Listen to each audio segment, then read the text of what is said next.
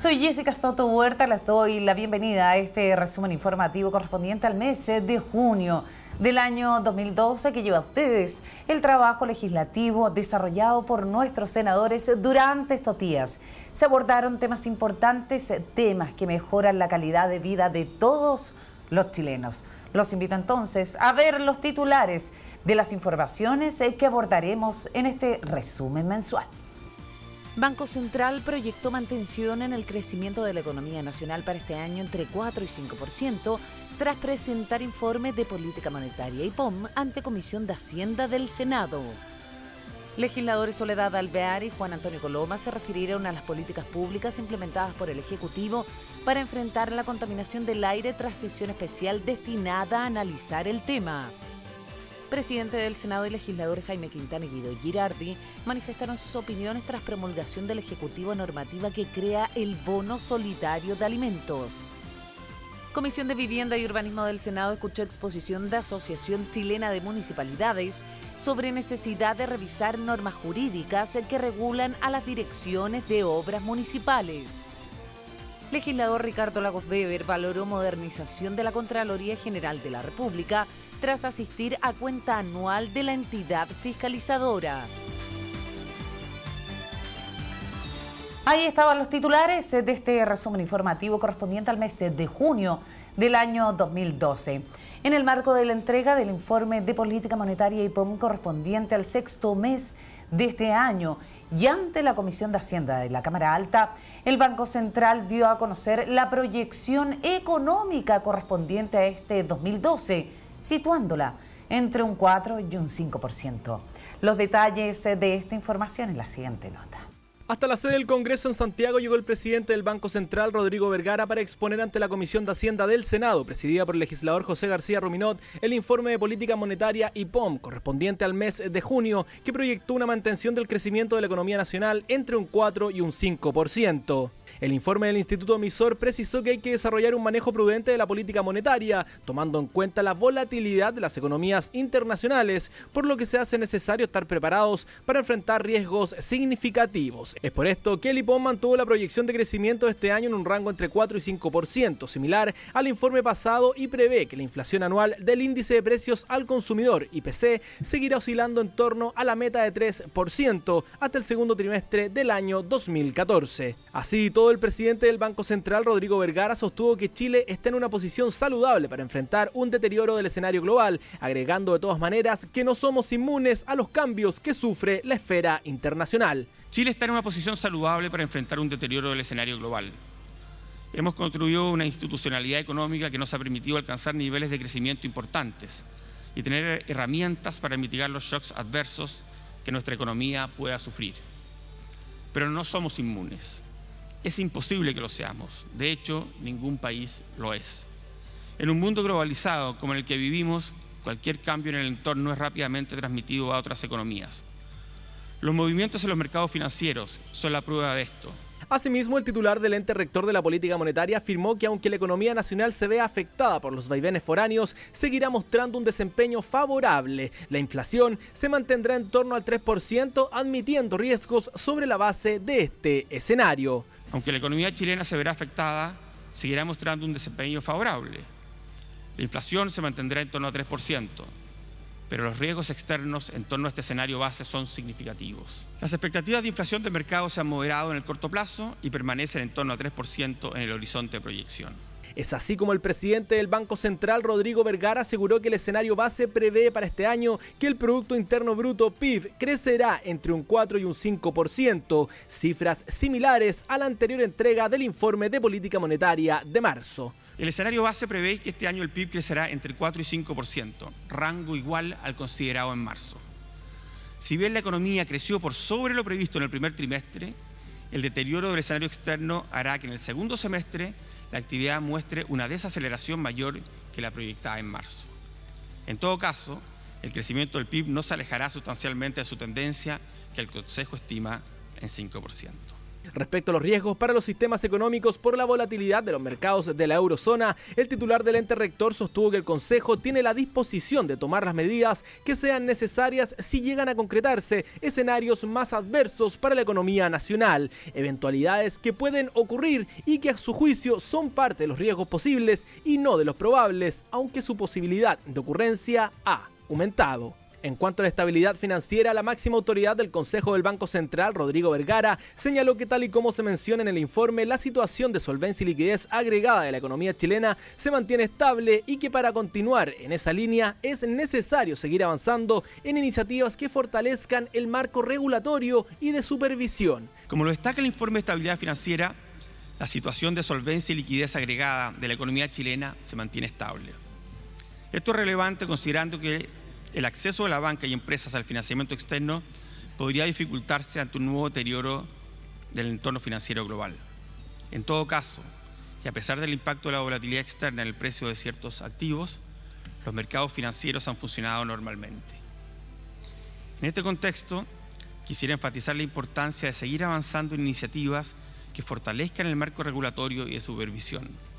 como es el caso de la propuesta de reforma para las compañías de seguros en discusión actualmente en el Congreso. Otro de los aspectos relevantes contenidos en el IPOM entregado por el Banco Central se refiere a la deuda de los hogares, que según el titular del ente emisor Rodrigo Vergara en los últimos años ha mostrado un aumento en línea con su ingreso disponible, situación similar al endeudamiento de las empresas, que ha crecido en línea con el desarrollo de la actividad económica. En los últimos años la deuda de los hogares ha aumentado en línea con su ingreso disponible. Esto se ha traducido en indicadores agregados de endeudamiento relativamente estables, ya sea que se compare el nivel de deuda o la carga financiera con el ingreso disponible o la masa salarial.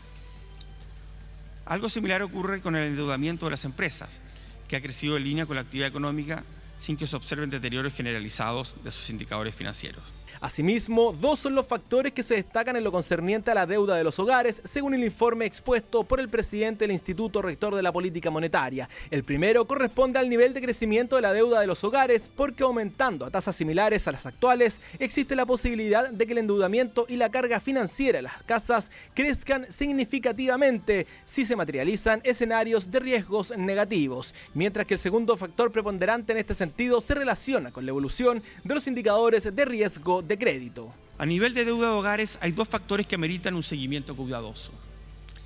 El primero es el nivel de crecimiento de la deuda de los hogares. Esto porque, aumentando a tasas similares a las actuales, existe la posibilidad de que el endeudamiento y la carga financiera de los hogares crezcan de manera significativa si se materializan escenarios de riesgo negativos. En este contexto, se hace particularmente relevante la existencia de una base de datos de deuda consolidada, que permita una adecuada gestión de riesgos por parte de los oferentes y potencie la capacidad de monitoreo de los supervisores. El segundo factor es la evolución de los indicadores de riesgo de crédito. Aunque de modo acotado, desde mediados de 2011 ha aumentado el índice cartera vencida de consumo bancaria y la morosidad de las casas comerciales. Este elemento, unido al sostenido crecimiento del financiamiento automotriz y al de tarjetas de crédito, constituye un elemento que también debiera ser considerado en la evolución de riesgos de crédito de los hogares. De esta manera, el presidente del Banco Central, Rodrigo Vergara, expresó ante los legisladores presentes en la sala de sesiones del Congreso Nacional en Santiago que la complejidad del escenario actual requiere de un manejo prudente de la política monetaria y un cuidadoso manejo de los riesgos, haciendo necesario estar preparados para enfrentar cambios significativos en el escenario macroeconómico, aspectos que el Consejo del Instituto Emisor sigue de cerca para mantener la inflación proyectada en un 3%, asegurando de esta manera la estabilidad del sistema financiero.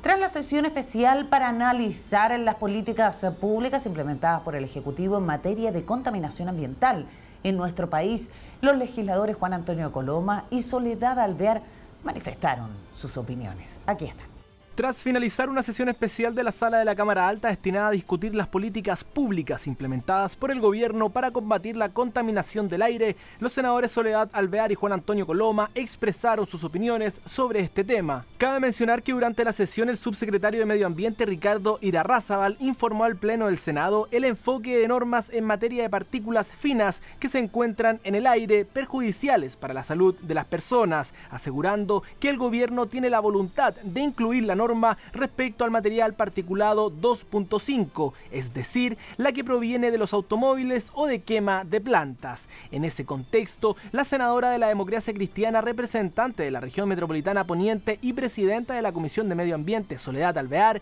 quien fue la primera en intervenir en dicha sesión, planteó que en abril de 2012 el Poder Ejecutivo estableció un plan de descontaminación que a su juicio no se estaría implementando. Tenemos una contaminación del aire en la región metropolitana cada vez más grave. Hemos visto en estos días, especialmente a menores de edad, en los hospitales y en las clínicas saturados. El ministro de Salud nos indica que adicionalmente aún no se ha llegado las semanas críticas. Y tenemos como plan de descontaminación esta mirada en la cual se em, indica día a día cuáles son eh, los automóviles que no pueden salir de circulación cuando no tienen convertidor catalítico. Em, en el año 2010, en el mes de abril, se estableció un plan de descontaminación y de prevención que fue em, eh, emitido por la Intendencia de la región metropolitana eh, donde se establece un conjunto de eh, tareas por llevar adelante que por diversas razones, que no las conozco, eh, no se ha implementado y por ende parece muy necesario el poder llevarlas adelante. Entre otras cosas, por ejemplo, eh, se contempló la chatarrización de los camiones con todo un plan para poder apoyar a los dueños de esos camiones a fin de la reposición de sus vehículos u otros. En tanto, para el senador de la Unión Demócrata Independiente, representante de la región del Maule, Juan Antonio Coloma, los problemas de descontaminación se arrastran hace 20 años, asegurando que actualmente las políticas públicas para enfrentar el problema han avanzado. las políticas públicas tienen historia y hoy día estamos con una situación de contaminación compleja, pero con evidentes adelantos. Hoy día hay capacidad de medir, hay políticas públicas de exigencia, de determinadas normas de máximas de contaminación en, casi todos los campos. Eh, y creo que esos avances tienen que estar eh, encuadrados en un carril de mirar hacia adelante. Cuando uno se limite, yo pensé que era una sesión que íbamos a todos a colaborar, con objetividad respecto a lo que tenemos que hacer hacia adelante, reconociendo los errores, pero algunos plantean esto, digamos, como si hubiera sido un gobierno, por problema del gobierno del presidente Piñera, los índices de contaminación que se arrastran hace 20 años. Entonces, creo que las cosas eh, hay que poner los puntos sobre la I. En el, fondo decir, mire, eh, políticas públicas en serio, pero hablemos en serio, no tratemos de caricaturizar pasado. Cabe mencionar además que algunos legisladores plantearon la necesidad de implementar energías limpias como herramienta de combate a la descontaminación que afecta a nuestro país. Tras conocer la promulgación por parte del Ejecutivo de la ley que entrega el bono solidario de alimentos, los legisladores Guido Girardi, Jaime Quintana y el presidente del Senado, Camilo Escalona Medina, manifestaron sus opiniones. Aquí están. El presidente del Senado Camilo Escalona Medina y los legisladores de la oposición Jaime Quintana y Guido Girardi manifestaron sus opiniones sobre la promulgación del gobierno a la normativa que crea el bono solidario de alimentos dirigido a las familias más vulnerables de nuestro país. La medida anunciada por el mandatario Sebastián Piñera durante la última cuenta pública ante el Congreso Pleno en mayo pasado contempla la entrega de un bono de 40 mil pesos por grupo familiar, más un bono adicional de 7.500 pesos por hijo menor de 18 años. Tal iniciativa fue aprobada en su último trámite legislativo en la Cámara de Diputados, donde recibió el apoyo unánime de los 51 parlamentarios presentes en la sala. En este sentido, la máxima autoridad del Poder Legislativo, senador Camilo Escalona Medina, precisó que como parlamentario de la oposición respalda esta normativa, ya que viene a resolver el problema de las alzas de los precios de los combustibles y de la canasta familiar, que a su juicio golpea el presupuesto de las familias más vulnerables. Como parlamentarios pertenecientes a la oposición, respaldamos esta iniciativa, pues nos parece viene a resolver un problema que se venía manifestando ya hace tiempo, cuál es el alza de los precios de los alimentos, así como también el alza de los precios de los combustibles. Están bastante asociados al uno del otro,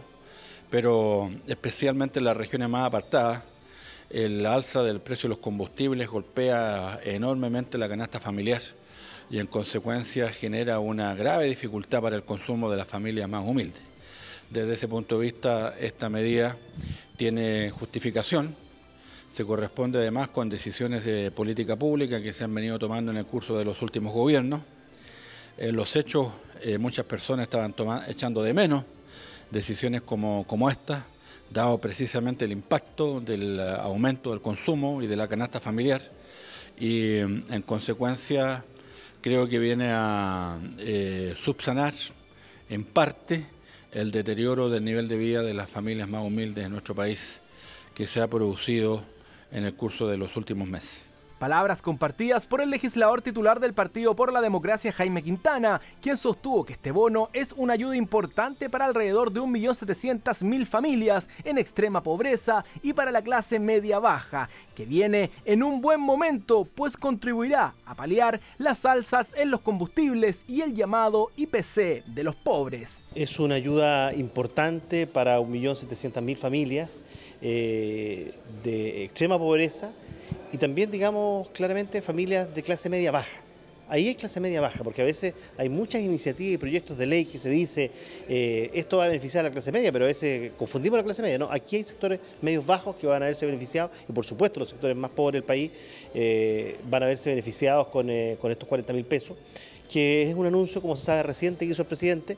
tal como venía eh, haciéndose en el gobierno de la presidenta Bachelet, aunque lo que hemos dicho también es que en el gobierno de la presidenta Bachelet esto respondía a un concepto de protección social más amplio, había una ley, bueno, existe, Chile crece contigo, y en el marco de todas esas ayudas eh, monetarias, por cierto, a las familias más pobres, eh, se inscribía este bono. Desde luego lo aprobamos por la unanimidad del Senado, creemos que viene en un buen momento, porque el alza en el precio de los alimentos, más allá de estas bajas hoy día en las bencinas, la gente más pobre que recibe esto eh, no se moviliza en vehículos eh, particulares.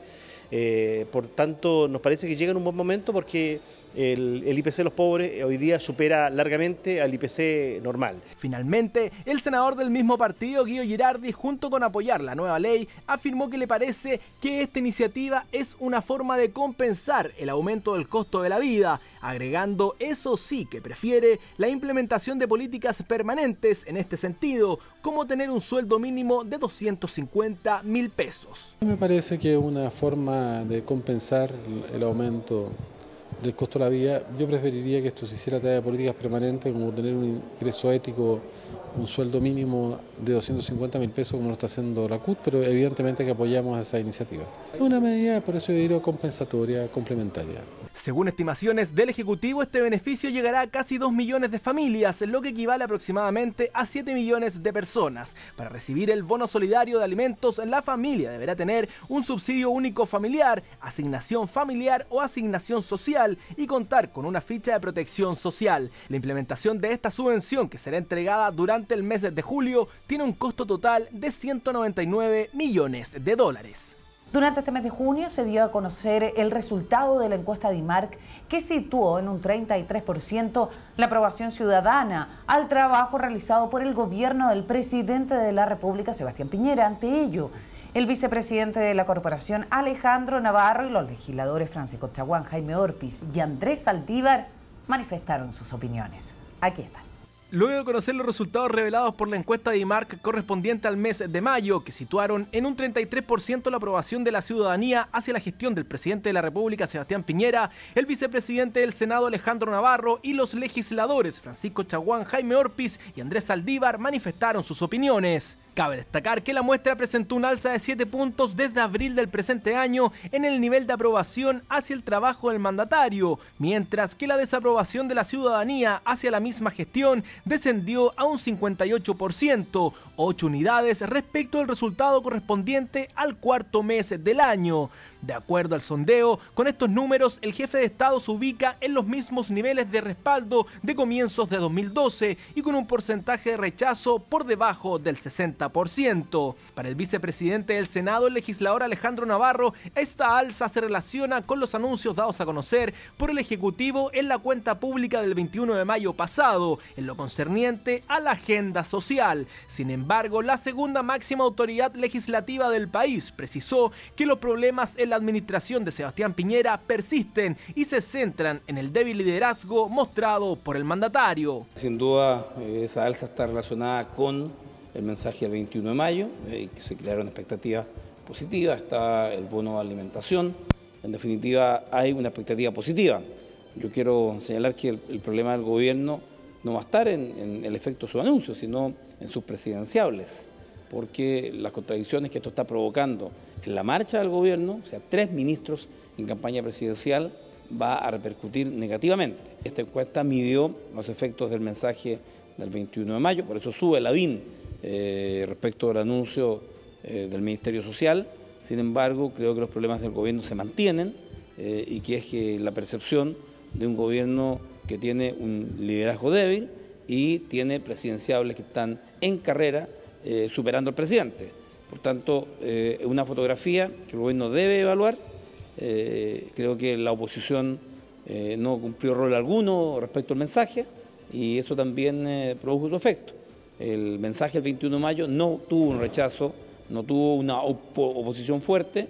y creo que el presidente bien merecía la posibilidad de que en esta carta de navegación pudiera trazar un nuevo rumbo. Sin embargo, todo indica que al igual que en el 7%, una vez más la letra chica eh, se nos viene encima Mientras que el senador de Renovación Nacional por la región de Valparaíso, Francisco Chaguán, manifestó estar satisfecho por el 33% de aprobación obtenido por el gobierno, pues a su juicio la ciudadanía está notando los efectos de las políticas impulsadas por el Ejecutivo en lo concerniente al crecimiento económico, el empleo y la agenda social. Muy satisfecho porque tal como lo hemos sostenido, eh, se está notando eh, eh, en los ciudadanos el efecto de las políticas del gobierno del presidente Piñera. no es casualidad que en un mes haya subido cerca de 7 puntos, haya bajado el rechazo 8 puntos, haya mejorado también la percepción también de la coalición por el cambio. Y esto es en relación con un gobierno que está haciendo la pega, particularmente en materia de cifras de desempleo por quinto mes consecutivo tenemos un desempleo bajo 7%, eh, en circunstancias que el escenario internacional es bastante complejo. En los países de la zona euro hemos visto, incluso con tasas de santidad sobre el 20-24%, en circunstancias de que Chile ha hecho un manejo importante eh, e inteligente de la crisis y ha transformado esto en una verdadera oportunidad. Eh, hemos mantenido a raya el desempleo eh, con, cifras además históricas, bajo el 7%. Eh, Chile sigue creciendo, a diferencia de los países eh, de la zona euro y los países industrializados. la perspectiva es que Chile sigue creciendo y que sea los países con más crecimiento dentro de la OCDE y entonces está siendo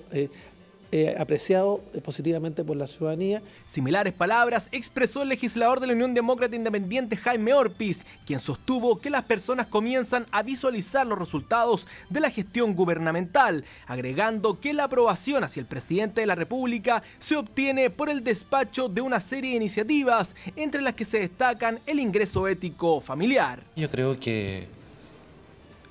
al, al final la gente está viendo los resultados de una gestión y eso es lo que está valorando. Eh, y por lo tanto mi recomendación es que se siga con una agenda, porque durante toda esta etapa que el presidente mejoró en las encuestas, está muy asociada a, proyectos importantes que se fueron aprobando en el, en el Parlamento, como por ejemplo el ingreso ético eh, familiar, entre otras materias. Eh, y yo creo que la gente va percibiendo que, que en la medida en que se vayan aprobando leyes importantes, se vayan tomando medidas importantes, bueno, más temprano que tarde eso tiene que reflejarse en una evaluación ciudadana. Eh, y eso que me indica a mí, eh, que los presidentes se dediquen a gobernar, más allá de estar preocupados de las encuestas, porque un buen gobierno a la larga se traduce en un mejoramiento de las encuestas. Finalmente, el senador de la democracia cristiana Andrés Saldívar manifestó que los anuncios correspondientes a la cuenta pública del 21 de mayo podrían haber incidido en la medición de la encuesta, pero que en lo que concierne al juicio que la ciudadanía tiene sobre el gobierno no habría mucha variación. Me parece que le será una buena cifra para el presidente, me parece que él debe estar contento, puesto que siempre los 21 de mayo, con motivo del 21 de mayo, el presidente de la República pasa a ser un actor determinante en lo que pueden ser las aspiraciones de la gente. Y creo que el, presidente ya anunció una serie de cosas y beneficios que puede ser, ¿no es cierto?, que haya dado un, resultado positivo. Esto sucede en todas partes del mundo. Clinton, ¿no es cierto?, en su tiempo le iba mal un periodo de tiempo, pero cuando hacía la cuenta La Nación, que se llamaba, él hacía medir, inmediatamente subía mucho. Y, pero ojalá que ello eh, pudiera mantenerse. Yo personalmente creo que no ha habido mucha variación sobre el juicio que tiene la gente sobre el resultado del gobierno. podría ser tres puntos más, cuatro puntos más, cuatro puntos menos, pero yo creo que hay un, un juicio negativo en el sentido que se esperaba mucho más de este gobierno que lo que la gente está recibiendo. Entre otros aspectos evaluados por la encuesta de IMARC se encuentra el nivel de aprobación ciudadana con respecto a los ministros de gobierno. Los secretarios de Estado mejor evaluados fueron la titular del Servicio Nacional de la Mujer, Caroline Schmidt, que alcanzó un 75%, un punto menos que en el sondeo anterior. A ella le sigue el ministro de Obras Públicas, Lawrence Goldborn, quien alcanzó un 71%, cuatro puntos menos que hace un mes cuando obtuvo un 75% de apoyo ciudadano. Cabe destacar que el secretario de Estado del Consejo de la Cultura y las Artes, Luciano Cruz Coque, alcanzó un 70%, mientras que el ministro de Defensa Nacional, Andrés Alamán, llegó a un 69%. En el caso del ministro de Economía, Pablo Longueira, el respaldo ciudadano fue de 49%, mientras que el ministro que obtuvo una mayor alza fue el de Educación, Harald Beyer, quien subió 12 puntos, alcanzando en este sondeo un 42%. El legislador independiente representante de la región de Magallanes y la Antártica chilena Carlos Bianchi se reunió durante este sexto mes del año 2012 con el director del Fondo Nacional de Salud FONASA, Miquel Uriarte, con el fin de solicitar soluciones para las personas que se encuentran postradas y que pertenecen a esa región del país. Aquí está con el propósito de solicitar soluciones para las personas que se encuentran postradas en la región de Magallanes y la Antártica chilena, el senador por esa zona del país, Carlos Bianchi, se reunió con el director del Fondo Nacional de Salud, FONASA, Miquel Uriarte. Entre las soluciones logradas por el legislador independiente fue el compromiso del funcionario de gobierno de trasladar a 200 personas postradas a instituciones como el Centro de Rehabilitación Club de Leones Cruz del Sur, que tiene jornadas similares a las que tiene la Teletón. Así lo informó el senador Carlos Bianchi, para quien, tras esta cita, la región de Magallanes y la Antártica chilena puede tener la tranquilidad de que todas las personas que están postradas van a tener la posibilidad de que una institución pueda atenderlas. Magallanes hoy día puede estar con la tranquilidad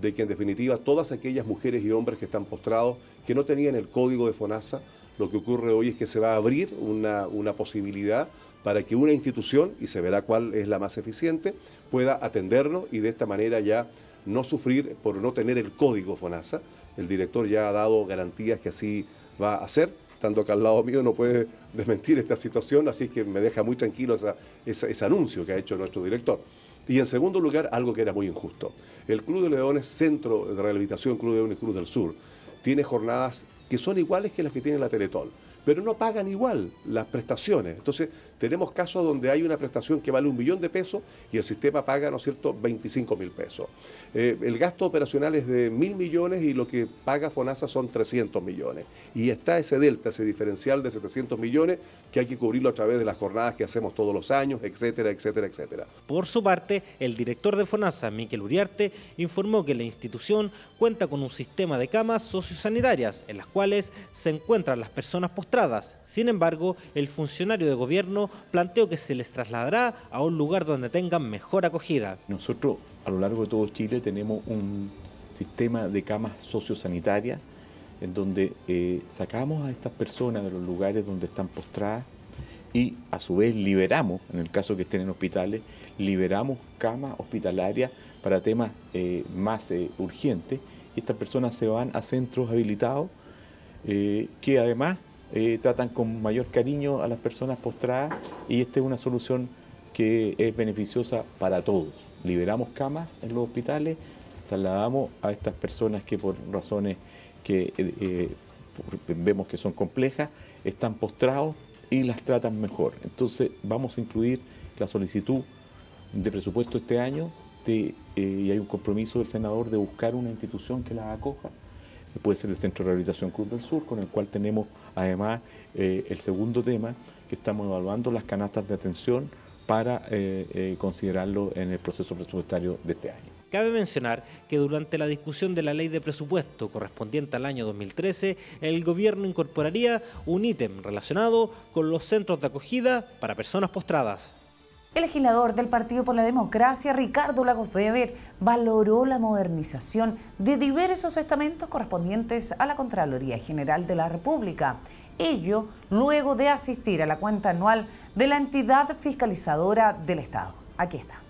Hasta el Salón de Honor de la sede del Congreso Nacional en Santiago llegó el senador del Partido por la Democracia, Ricardo Lagos Weber, para participar en la cuenta anual de la Contraloría General de la República correspondiente al año 2011. En la oportunidad, el legislador por la región de Valparaíso valoró el proceso de modernización emprendido por la entidad fiscalizadora para ofrecer a la ciudadanía y al Estado un mejor servicio de investigación y seguimiento en las diversas materias. En dicho acto al que asistieron las principales autoridades del país, el Contralor Ramiro Mendoza precisó que durante el año pasado como entidad fiscalizadora se ha buscado generar y poner a disposición de los ciudadanos y de los organismos públicos los servicios en el menor plazo posible, junto con profundizar la calidad de las auditorías y herramientas contables, asumiendo los enfoques modernos en materia de examen financiero y homologando progresivamente las normas contables del sector público a las normas internacionales de contabilidad del sector público. El legislador por la región de Valparaíso, Ricardo Lagos Weber, señaló que el Contralor General apuntó en su exposición a tres ejes que la entidad fiscalizadora está buscando para mejorar su gestión, como por ejemplo lo relacionado con recursos humanos, probidad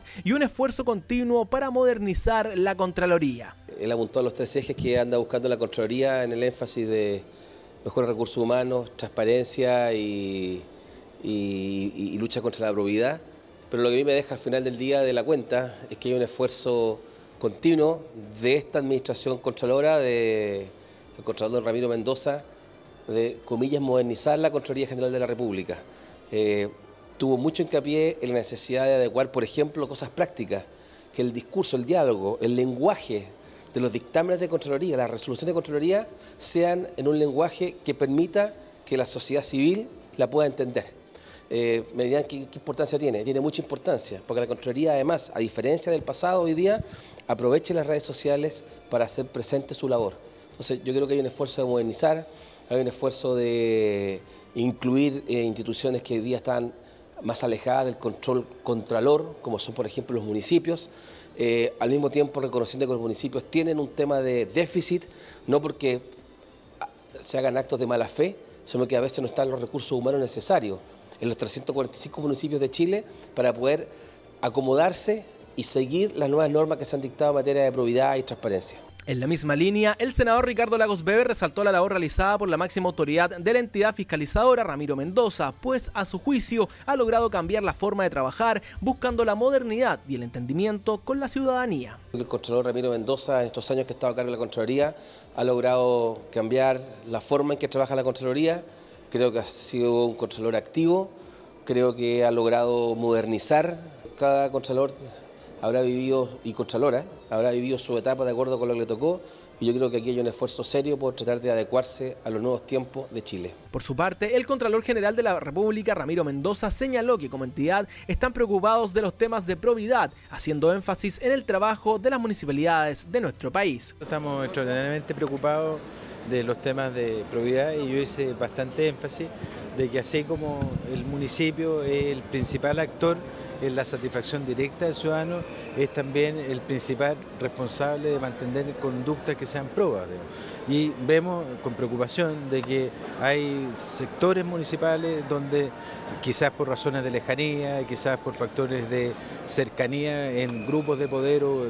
situaciones familiares, se producen actos reñidos contra la probidad a tal punto que, por ejemplo, en el caso de Arica decidimos nombrar que al Contralor Regional como interventor en el municipio para los efectos de, delegado del Contralor pudiera certificar y estar pendiente de que los actos que se estuvieran realizando en la actualidad estuvieran conforme a derecho de manera directa y presencial. Asimismo, la máxima autoridad de la Contraloría General de la República explicó que se ha implementado un desarrollo tecnológico de sistemas informáticos en materias que van desde la planificación, gestión y control de las auditorías hasta la fiscalización de legalidad preventiva que realiza la entidad de manera oportuna en diversos diversas áreas y bajo determinados supuestos, como ocurre en materias referentes al personal de la Administración del Estado. El vicepresidente del Senado Alejandro Navarro y los legisladores Isabel Allende, Jimena Rincón, Juan Pablo Letelier, Pedro Muñoz Aburte, Mariano Rusesquide señalaron que recurrirán al Tribunal Constitucional para revertir la decisión del Ejecutivo de otorgar concesión a las empresas privadas para explotar el litio en nuestro país. Aquí está. luego que el subsecretario de Minería, Pablo Wagner, anunciara que se llamará a licitación pública nacional e internacional para adjudicar contratos especiales de operación de litio a empresas privadas, es decir, la explotación del mineral, el vicepresidente del Senado, Alejandro Navarro, junto a los legisladores Isabel Allende, Jimena Rincón, Juan Pablo Letelier, Mariano Ruiz Esquide y Pedro Muñoz Aburto, informó que recurrirán al Tribunal Constitucional para revertir esa decisión. Cabe mencionar que según el gobierno, las compañías ganadoras de esas concesiones recibirán una retribución mensual equivalente a las ventas brutas menos el pago específico al Estado, que se da del 7% de las ventas brutas de cada mes, lo que permitirá que el Estado reciba la mitad de las utilidades que se generen. En ese contexto, el vicepresidente del Senado, Alejandro Navarro, planteó que el litio es un mineral que debe ser explotado exclusivamente por el Estado, por lo cual señaló que la decisión de licitar parte de la explotación del litio podría ser revisado por los gobiernos futuros. Los eh, inversionistas tengan presente que esta política del litio va a ser revisada el próximo gobierno, que no es una política de consenso, como ha dicho el senador Letelier, pero se lo vamos a comunicar formalmente, apenas aterriza en Washington, apenas aterriza en Sydney, los principales periódicos van a tener la advertencia de que esta política no es de consenso y de que esta política va a ser revisada por el próximo gobierno que tengo la comisión va a ser de oposición y la va a revisar y si es necesario la va a cambiar. Por lo tanto, debería haber sinceridad en el planteamiento del subsecretario y advertir a esos inversionistas de que estas reglas del juego pueden ser moderadas, pueden ser alteradas, pueden ser modificadas. Por su parte, la senadora del Partido Socialista, representante de la región de Atacama y presidenta de la Comisión de Minería y Energía, Isabel Allende, aseguró que Chile no puede entregar sus recursos naturales, sino trabajarlos para darles un valor agregado en el contexto en que se ha descubierto el uso de este mineral que antes era inimaginable. Crecientemente se van descubriendo usos del litio que eran inimaginables hace unos años y de ahí que haya subido también su valor. Lo que nosotros decimos es que no debemos entregar nuestros recursos naturales si lo que debemos hacer es desarrollar valor agregado, es fomentar la investigación, es desarrollar como país a través de nuestras empresas públicas el litio. Y por lo tanto nos parece muy grave que este gobierno ha sido completamente sordo, no ha querido escucharnos y se niega a hacerlo a través del elemento más democrático, cuál es una ley que se discuta abiertamente en el Parlamento con conocimiento de la ciudadanía. Aquí se ha preferido la vía administrativa, es decir, simplemente a través de un decreto supremo. Estamos, quiero anunciarles también que no solo nos oponemos nosotros, los gremios que nos acompañan, sino que queremos decirle, por lo tanto, tiene un rechazo social esta idea, sino que queremos decirle además que estamos estudiando la factibilidad de apelar al Tribunal Constitucional porque nos parece que esta vía administrativa, que es muy específica, la verdad es que no estoy segura que sea aplicable a los contratos de operaciones que se pretende hacer por esta vía administrativa. En una línea similar, la senadora de la democracia cristiana, representante de la región del Maule, Jimena Rincón, señaló que no se pueden cometer los mismos errores del pasado respecto a la concesión de los recursos naturales, considerando que Chile tiene el 70% de las reservas mundiales de litio. El 70% de los recursos de litio están en Chile. Y no podemos cometer el mismo error que cometimos en el pasado con el salitre y creo que cuando uno escucha a Mariano y hace la reflexión en torno a eh, rescatar este recurso para el país, eh, es fundamental. Y decirlo en el sentido que trabajamos con eh, Isabel y con José Antonio Gómez en la comisión que abordó el tema de la energía renovable no convencional. El litio es estratégico. Lo dijo un representante de la Comisión Chilena de Energía Nuclear en la discusión de la comisión. Y obviamente tenemos que pensar en el futuro de nuestro país no podemos seguir explotándolo y sacándolo sin pensar en eh, nuestras generaciones futuras, sin pensar en la energía. Y por lo tanto el llamado es a que eh, el Gobierno no se aproveche de una facultad que tiene, que haga la discusión en serio de este tema, que no dejemos de ganar lo que podemos ganar con este recurso, porque estamos hipotecando, sino eh, lo que viene en el país y estamos haciendo lo mismo que hicimos en el pasado. Y la historia nos tiene que enseñar. Para el senador del Partido Socialista, representante de la región del Libertador Bernardo Higgins, Juan Pablo Letelier, el litio es un recurso estratégico de nuestro país que prácticamente se está regalando a las empresas privadas. Aquí se está haciendo un traje a la medida con letra chica para algún negociado con nuestros recursos. Aquí se está usando un resquicio legal en segundo término. Es evidente que el Código Minero declaró el litio, al igual que el uranio, minerales, estratégico. ¿Para qué? Para que no se tratara como otros bienes de todos los chilenos, precisamente para que se tratara de otra forma. Claro, no es casual que el subsecretario de Minería, quien incluso ha dicho que la nacionalización del cobre fue un error histórico,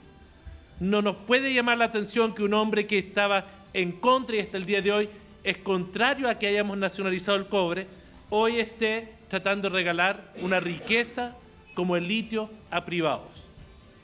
Cuando hoy, a diferencia de 20 años atrás, 20 años atrás no se sabía los usos del litio. 20 años atrás no se conocía la importancia estratégica del litio.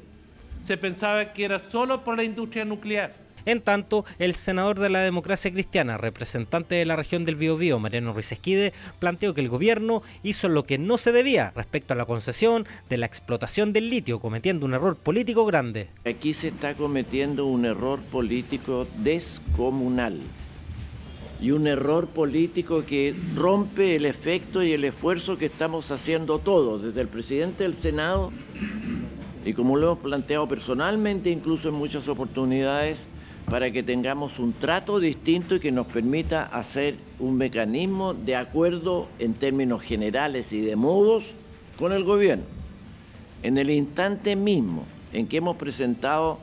las ideas de nacionalizar y en el instante mismo en que estamos pidiendo un acuerdo, en el instante mismo en que estamos diciendo, mire, vamos a hacer esto y queremos hablar con el gobierno sobre el litio,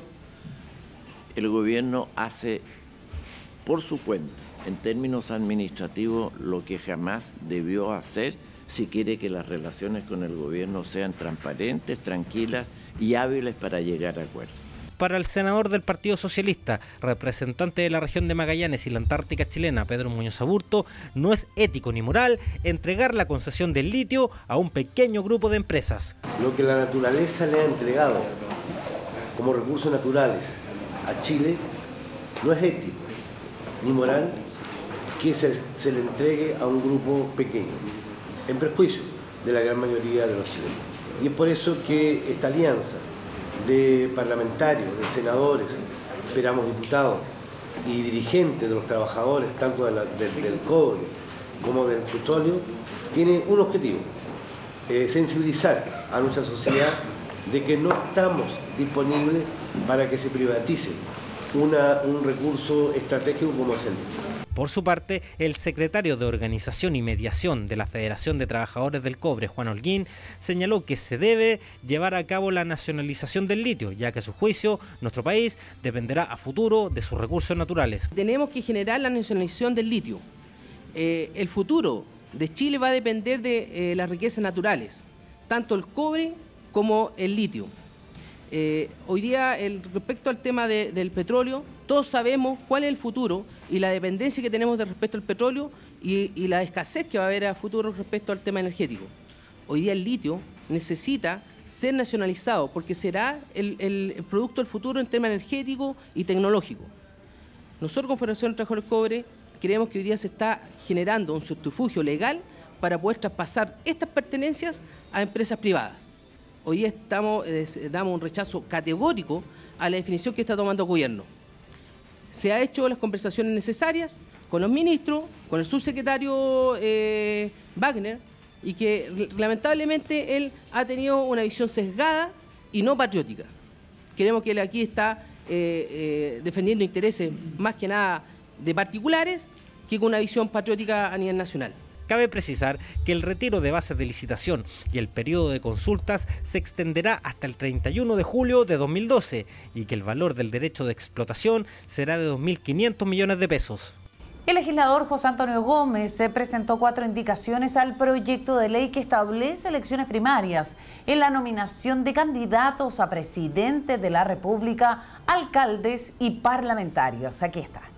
Hasta la oficina de la Secretaría General de la Cámara Alta concurrió el senador José Antonio Gómez para presentar cuatro indicaciones al proyecto de ley que establece elecciones primarias para la nominación de candidatos a presidente de la República, parlamentarios y alcaldes. La primera enmienda apunta a permitir a los independientes a participar en una elección primaria sin la necesidad de contar con el patrocinio de un partido político. La segunda establece la gratuidad del transporte público para los electores que vayan a emitir su voto en este tipo de comicios. La tercera modificación busca bajar a 10% el límite de gasto electoral propuesto por el gobierno, mientras la cuarta apunta a obligar a los medios de comunicación a cumplir con un rol público, otorgando espacios para realizar franjas electorales para los comicios primarios. Así lo informó el senador por la región de Antofagasta, José Antonio Gómez, para quien es necesario otorgar a los independientes la posibilidad de participar en una elección primaria para seleccionar a un candidato presidencial sin la necesidad de contar con el beneplácito de un partido político. Nosotros estamos en una discusión de fondo frente a cómo elegir a los candidatos a elección popular a través de primarias abiertas, nacionales y competitivas y que estén reguladas por el servicio electoral. Para esos efectos eh, tenemos aprobado en, segundo, en primer trámite, estamos discutiendo en segundo trámite en el Senado eh, este proyecto y lo que hemos hecho son varias indicaciones hemos presentado. La primera que tiene que ver con que los independientes puedan participar de las primarias presidenciales sin tener la obligación de ser patrocinados por un partido político, sino que junten un número de firmas que establece la ley y además firmen un, documento en el cual es eh, el que determina que programáticamente están también en la misma línea del conglomerado que pretenden representar.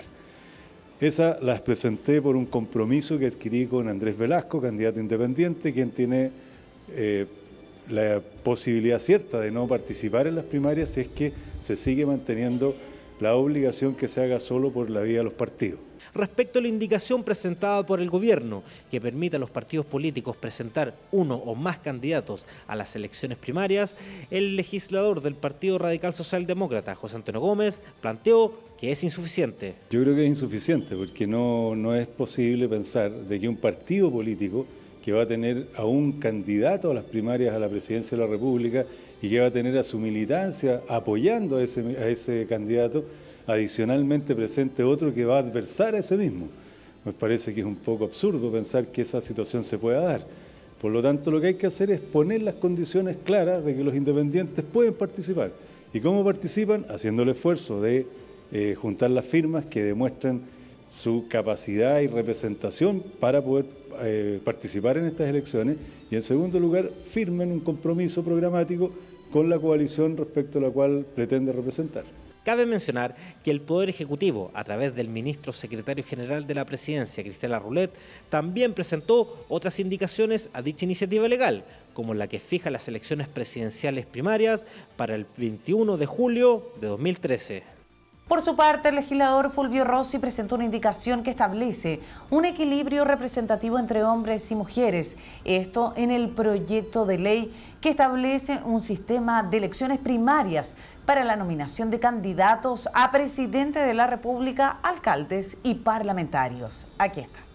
El senador presidente de la Comisión de Gobierno, Descentralización y Regionalización de la Cámara Alta, Fulvio Rossi, presentó una indicación al proyecto de ley que establece un sistema de primarias para la nominación de candidatos a presidente de la República, parlamentarios y alcaldes, basada en otorgar un equilibrio representativo entre hombres y mujeres para lograr mayores niveles de participación y paridad en el sistema político. Dicha modificación, que cuenta con el apoyo de organizaciones de mujeres y representantes del Partido Socialista y la democracia cristiana, busca un mecanismo de acción afirmativa para la igualdad de género en el proyecto presentado por el presidente de la República, Sebastián Piñeri, que cumple su segundo trámite constitucional y que fue aprobado en general por la Sala del Senado con más de 50 indicaciones de diversos legisladores. El senador Fulvio Rossi señaló que está presentando esta indicación a la iniciativa del gobierno para establecer un mecanismo que permita aumentar la participación de las mujeres en política, ya que una democracia es incompleta si no tiene paridad. Estamos presentando eh,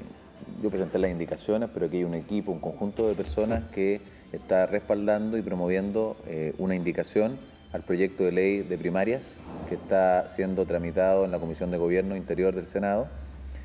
en el sentido de establecer eh, un mecanismo que permita aumentar la participación de las mujeres en política.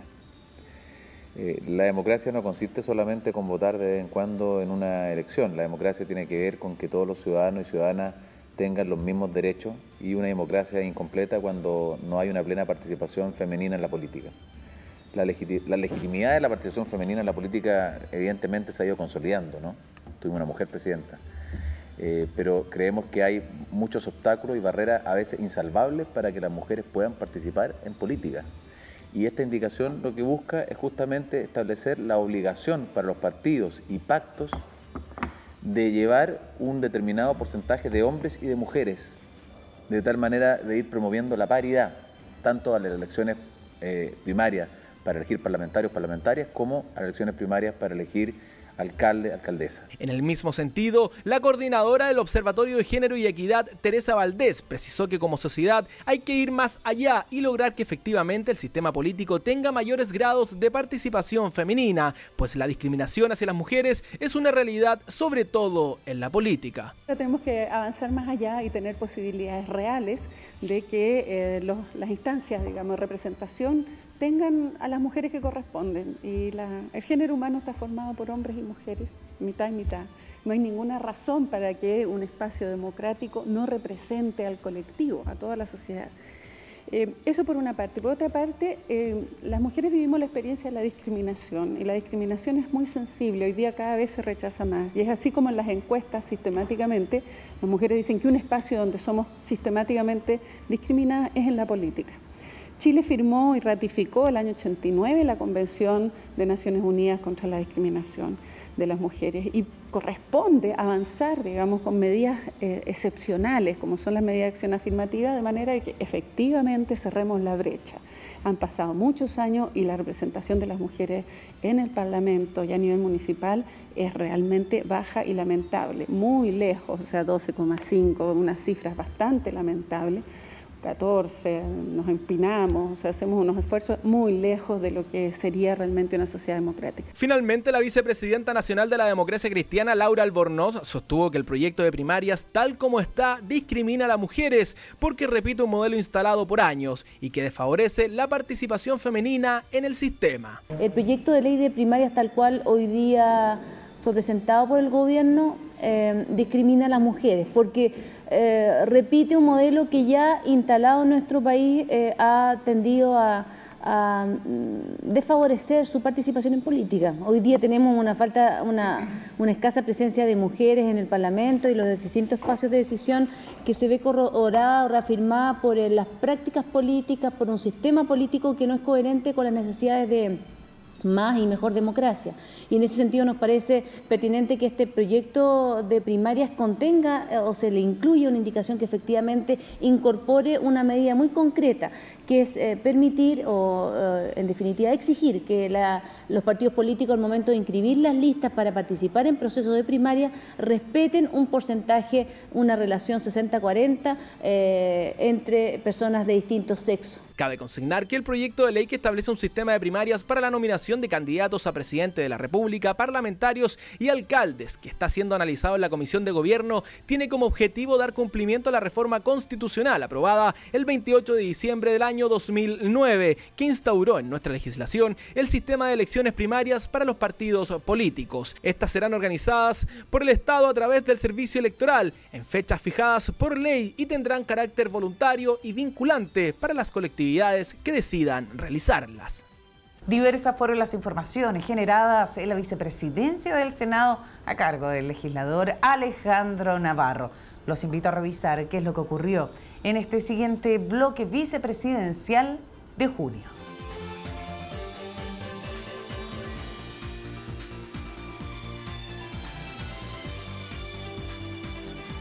Luego que el gobierno anunciara el envío del proyecto de ley que crea el nuevo sistema único de financiamiento estudiantil para la educación superior, el vicepresidente del Senado y miembro de la Comisión de Educación, Alejandro Navarro, expresó sus opiniones al respecto, asegurando que pese a esta iniciativa legal, el Poder Ejecutivo sigue respaldando el lucro en la enseñanza universitaria. Este proyecto de ley deroga el crédito con aval del Estado y el Fondo Solidario, establece la salida de la banca del sistema, dejando al Estado como proveedor de los fondos. En ese contexto, el vicepresidente del Senado, Alejandro Navarro, planteó que lo mejor es la gratuidad para los estudiantes que deseen ingresar a la educación superior y no plantear soluciones a medias, asegurando que no comparte el anuncio del Poder Ejecutivo. Yo estoy por gratuidad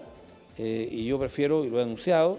eh, tenemos en suspenso el, voto, porque se parche a media, soluciona a media, yo espero, espero el plebiscito del 11 de noviembre de 2013, un plebiscito junto con la elección presidencial. La gente va a elegir un nuevo presidente y ese presidente tendrá que definir si va a estar por la gratuidad o el endeudamiento por 20 años eh, de la familia. Cabe precisar además que este crédito contemplado en dicha iniciativa legal tendrá una tasa de interés subsidiada del 2% anual y se comenzará a cancelar una vez que el egresado comience a trabajar y no pagará más del 10% de su sueldo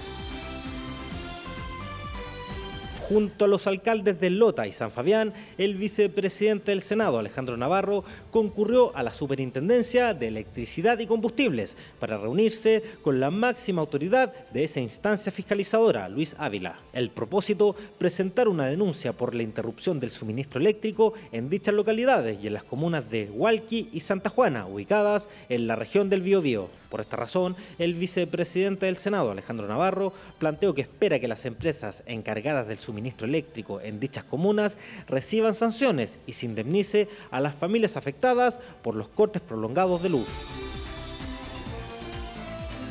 Tras conocer la información referida al despacho de la Cámara de Diputados del proyecto de ley que deroga la normativa reservada del cobre, el vicepresidente del Senado Alejandro Navarro y el legislador Pedro Muñoz Aburto afirmaron que esperan debatir pronto tal medida en el hemiciclo. En este sentido, el vicepresidente del Senado Alejandro Navarro sostuvo que con esta normativa se reduce en parte los gastos de las Fuerzas Armadas, agregando que espera que la iniciativa llegue pronto a la Cámara Alta, pues la corporación debe tener poder de decisión sobre estas inversiones tal como ocurre en otros países. Esto solo reduce en parte eh, los gastos de las Fuerzas Armadas, los transparenta, pero yo quiero que el Senado tenga capacidad de decisión sobre los gastos militares, como ocurre en los senados democráticos. Es decir, que cuando se invierte para la guerra, eh, son los civiles, son los poderes del Estado, más allá de las Fuerzas Armadas y el presidente de la República, quienes determinan si es necesario comprar tanques, comprar submarinos, comprar aviones de guerra. Y eso eh, tiene que ser debatido si bien es una reforma constitucional,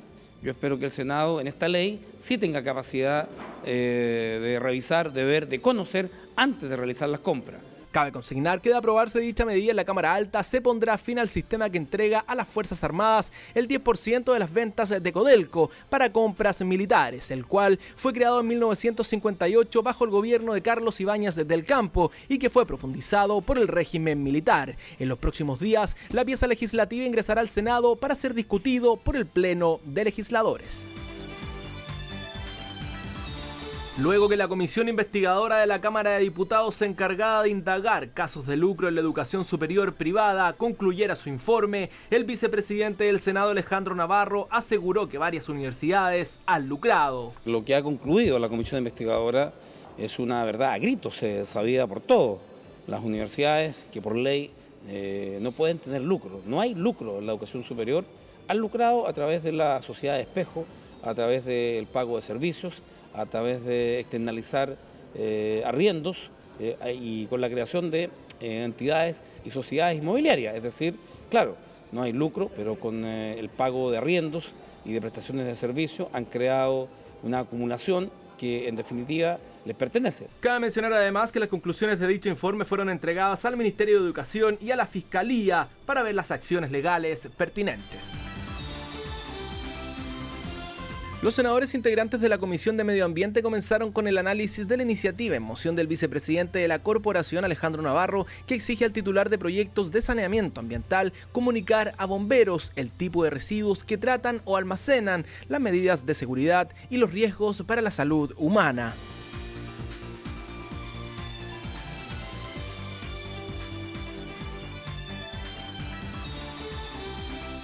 De esta manera concluimos este primer bloque del resumen informativo correspondiente al mes de junio del año 2012. Nos enteramos de diversas opiniones de nuestros legisladores en torno a temas que mejoran la calidad de vida de todos los chilenos. Trabajo en la sala de sesiones y también trabajo desarrollado en el Congreso Nacional en Santiago. Todo eso y más lo seguimos revisando en este resumen informativo correspondiente al mes de junio, luego de esta pausa.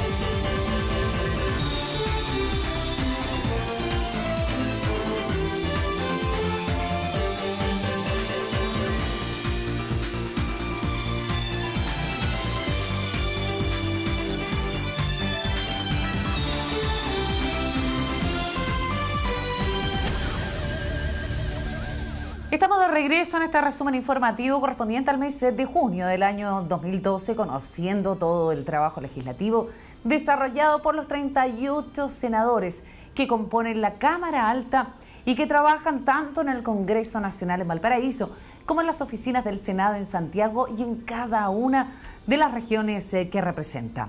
Les cuento que el presidente del Senado, Camilo Escalona Medina, en compañía del titular de la Cámara de Diputados, Nicolás Monkever, recibieron la visita del presidente de México. Los detalles de esta información en la siguiente nota.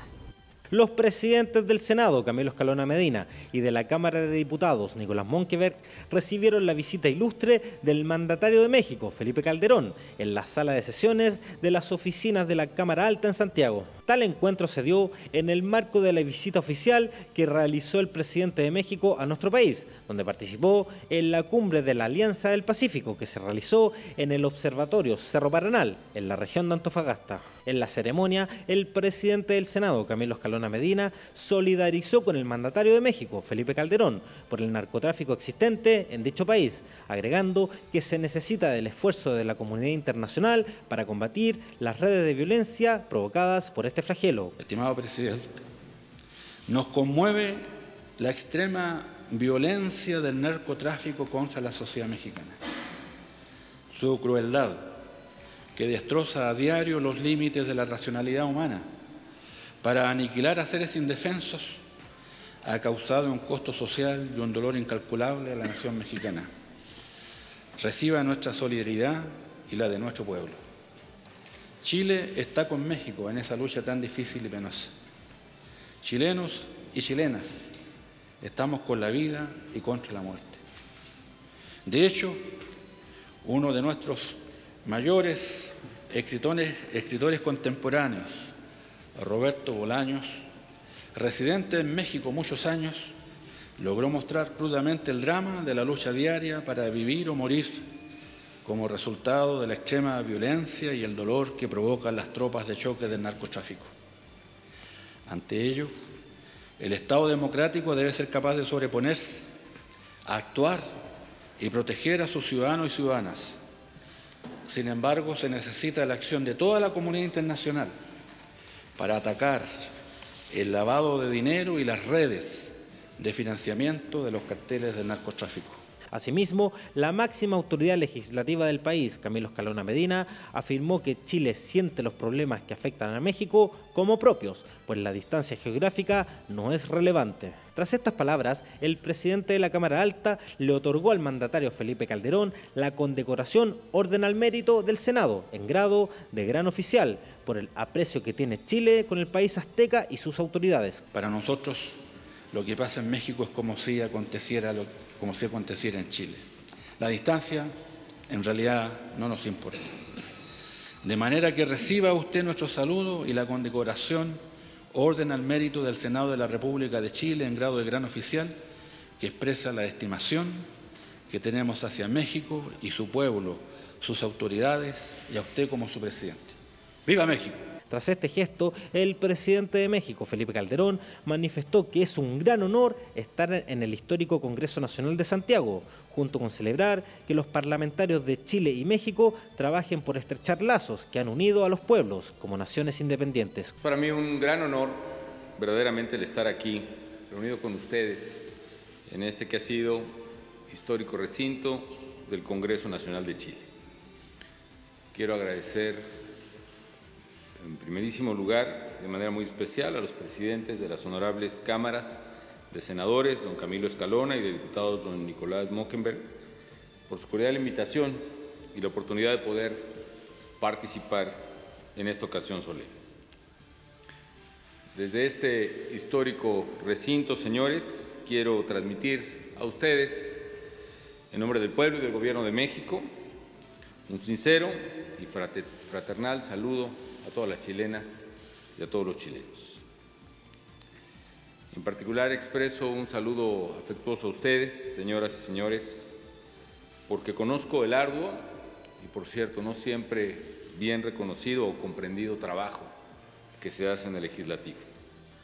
lo que significa ocuparse de los asuntos más delicados del país, generar leyes que contribuyan al avance económico, social, político, cultural de una sociedad y ponderar en cada decisión algo que es precisamente lo más sagrado para los pueblos, que es la construcción en decisiones de orden general del bien común. Yo celebro, por cierto, que tanto los congresos de Chile como el de México trabajen y cada vez más por estrechar lazos históricos, culturales y de amistad que han unido a nuestros pueblos desde su nacimiento como naciones independientes. Prueba de ello es el muy activo grupo de amistad legislativa Chile-México, cuyos integrantes fortalecen con su trabajo los vínculos que hermanan a nuestros países. Y en esta línea, el mandatario azteca Felipe Calderón agradeció la hospitalidad de los parlamentarios nacionales en su visita, afirmando que en los próximos años de seguir trabajando juntos, Chile y México construirán un buen porvenir. Yo agradezco, señores, nuevamente su hospitalidad. Estoy convencido de que en los próximos años México y Chile, de seguir trabajando juntos, construiremos una historia de prosperidad para las futuras generaciones. Y termino haciendo mías con absoluta sinceridad las palabras que el propio Vasconcelos dirigiera a Gabriela Mistral, palabras que muchos mexicanos le queremos decir a esta entrañable nación hermana. Escribió Vasconcelos, usted en el fondo de su corazón sabe perfectamente que yo soy su compatriota, chileno y mexicano. Muchas gracias. Finalmente, el titular de la Cámara de Diputados, Nicolás Monkever, resaltó la relación que por años ha mantenido Chile con México, junto con la válida aspiración hacia el progreso manifestada por la nación dirigida por Felipe Calderón. No puedo dejar de manifestar en esta oportunidad la excelente relación, como también lo recalcaba el presidente del Senado, entre México y Chile. Y es una relación que no solo se puede reconocer en las buenas palabras, sino que también en distintos eh, acuerdos que hemos tomado a lo largo de nuestra historia. Los kilómetros de distancia que nos separan no han sido kilómetros que separen nuestro trabajo conjunto. Ya hace 20 años se firmó el acuerdo entre los gobiernos de Chile y de los Estados Unidos mexicanos sobre cooperación para combatir el narcotráfico y la farmacodependencia. La comunicación y la excelente relación entre ambos países sumado a la válida ambición del progreso que tanto Chile como México comparten, permitieron firmar un acuerdo de asociación estratégica entre ambas repúblicas el 26 de enero del 2006. Este acuerdo en materia política, económica, comercial y de cooperación sin duda ha promovido la cooperación internacional para el desarrollo. Queremos agradecer especialmente todas las muestras de afecto, de apoyo y de lealtad que a través de su gobierno nuestro país ha sabido recoger. Tras participar en esta ceremonia oficial en la que estuvieron presentes senadores y diputados de todos los sectores políticos, junto a la delegación que acompaña al mandatario mexicano, este continuó con su agenda reuniéndose con el mandatario Sebastián Piñera. ¿Qué es lo que ocurrió durante este sexto mes del año 2012? En la Comisión de Vivienda y Urbanismo los invito a revisar el siguiente informe. Con el objetivo de revisar las normas jurídicas que regulan a las direcciones de obras municipales, la Comisión de Vivienda y Urbanismo de la Cámara Alta escuchó los planteamientos de la Asociación Chilena de Municipalidades. Cabe consignar que la instancia presidida por el legislador Osain Sabaj semanas antes había tomado la decisión de modificar la ley de vivienda y urbanismo en lo referido a las direcciones de obras municipales y las atribuciones de quienes ocupan estos cargos debido a la existencia de malas prácticas por la ausencia de profesionales óptimos para tal puesto y el estancamiento en materia de proyección para la ciudadanía. Así lo explicó la senadora de Renovación Nacional por la región de Valparaíso, Lili Pérez, quien afirmó que actualmente hay un porcentaje no menor de ausencia en el cargo de director de obras municipales, lo que denota falta de prolijidad para el despacho de proyectos y obras en las distintas comunas del país. Hay un porcentaje importante de ausencia del cargo previsto de directores de obra en varios municipios de nuestro país. Eso obviamente eh, muestra la falta muchas veces de prolijidad que existe en algunas comunas con respecto a las obras que en ellas se levantan y se realizan. Hay también han habido casos eh, de mala gestión. Eh, en esta área y por lo tanto nosotros tenemos muy resuelto como Comisión del Senado de Vivienda y Urbanismo de hincarle el diente fuertemente a esta ley y hacer las modificaciones legales pertinentes para eh, que realmente los municipios cuenten con una dotación adecuada, con que sean los profesionales adecuados, con que exista una fiscalización adecuada y con que sean personas que realmente tengan todas las eh, herramientas para que las municipalidades entreguen a los vecinos y a las vecinas un buen servicio en materia de obra, porque muchas veces existen, hemos visto muchas veces a través de los medios de comunicación conflictos que se suscitan eh, porque el director de obra decide una situación, los vecinos no están de acuerdo y hay, a, mi juicio, se han generado incluso irregularidades eh, con respecto a esta materia. Por su parte, el presidente de la Asociación Chilena de Municipalidades, Raúl Torrealba del Pedregal, manifestó que hay una multidependencia de las direcciones de obras municipales que muchas veces lleva a equívocos que impiden el crecimiento de las distintas comunas, por lo que es necesario que se legisle al respecto para regular esta situación. Estábamos viendo el tema de, las direcciones municipales. Hay, varias que están eh, que se está proponiendo, se está estudiando pasarlas al sistema de alta dirección pública y no seguir con el sistema actual, pero fundamentalmente orientado a la dirección de obra, toda vez que hay una multidependencia, no solo una doble dependencia de los directores de obra, que a veces lleva equívoco y que a veces no permite a las comunas desarrollar su programa de crecimiento tal y como la comuna lo, pretende. Entonces se ha estado discutiendo el tema. Eh, la comisión ha, recibido nuestras propuestas, nos comprometimos a, en un tiempo más, eh, ellos nos invitarán nuevamente y traeremos mm, un esquema de lo que nosotros vemos como Asociación Chilena de Municipalidades como un potencial en la materia, a fin de que todas las comunas y todos los ciudadanos conozcan la regulación en esta materia, ¿eh? que, no, que no sea que no sea materia de equívoco, toda vez que la certeza en esto permite la inversión, permite el desarrollo y permite hacer algo que en Chile no hemos hecho y que lamentablemente nos está costando muy caro hoy día, hacer ciudad en la forma que corresponde. De esta manera entonces, la Comisión de Vivienda y Urbanismo continuará escuchando las visiones de diversas organizaciones y entidades vinculadas con el tema, tal como lo hizo con el Colegio de Arquitectos y la Asociación Chilena de Municipalidades. ¿Qué temas abordó el ministro de Educación Harold Bayer en la visita que realizó a la Comisión de Hacienda de la Cámara Alta? Aquí está la información. Hasta la sede del Congreso Nacional en Valparaíso concurrió el ministro de Educación Harald Bayer para participar en una sesión de la Comisión de Hacienda del Senado. El propósito, exponer ante los miembros de esa instancia legislativa los alcances del proyecto de ley que aumenta las subvenciones del Estado a los establecimientos educacionales. Una iniciativa legal que consiste en duplicar el aporte que reciben por este concepto los estudiantes que asisten desde séptimo básico a cuarto medio, aumentando en un 51,5% los recursos para los estudiantes de quinto a sexto básico. Además, modifica la subvención por concentración de alumnos prioritarios en la misma proporción de dichos incrementos. En ese contexto, el senador de Renovación Nacional y presidente de la Comisión de Hacienda, José García Ruminot, aseguró, en base a la exposición del secretario de Estado, que este proyecto de ley implica una fuerte inyección de recursos para la educación escolar municipal y particular subvencionada. Con este proyecto el promedio de las subvenciones eh, queda más o menos eh, en, algunos niveles de educación un poquito más alto, en otros un poquito más bajo, pero más o menos en promedio 90 mil pesos. Es una fuerte inyección de recursos, fuerte inyección de recursos eh, al sistema de educación tanto municipal como particular subvencionado. Ya ha sido aprobado por la Comisión de Educación y yo espero que la primera semana de julio podamos hacer lo mismo aquí en la Comisión de Hacienda para que luego lo pueda ver la sala. Asimismo, el legislador representante de la región de la Araucanía, José García Ruminot, señaló que el secretario de Estado planteó hacia dónde se debe caminar en materia de subvenciones escolares al describir el dicho proyecto de ley en la Comisión de Hacienda. Se le hicieron muchas consultas, eh, el ministro habló de un estudio que revela hacia dónde tenemos que caminar en materia de subvención cuánto es el monto adecuado con el que se puede dar una educación de calidad eh, a un niño en cualquier lugar del país, independiente de su situación socioeconómica, independiente de la situación socioeconómica de su familia. Eh, ¿Cómo eh, hacemos realidad en, en la medida que el país va creciendo, en la medida que los ingresos fiscales van creciendo, de tal manera de que en algún minuto, que yo espero más temprano que tarde, vamos a tener que llegar a que la subvención sea 150 mil pesos por alumno, 180 mil pesos por alumno.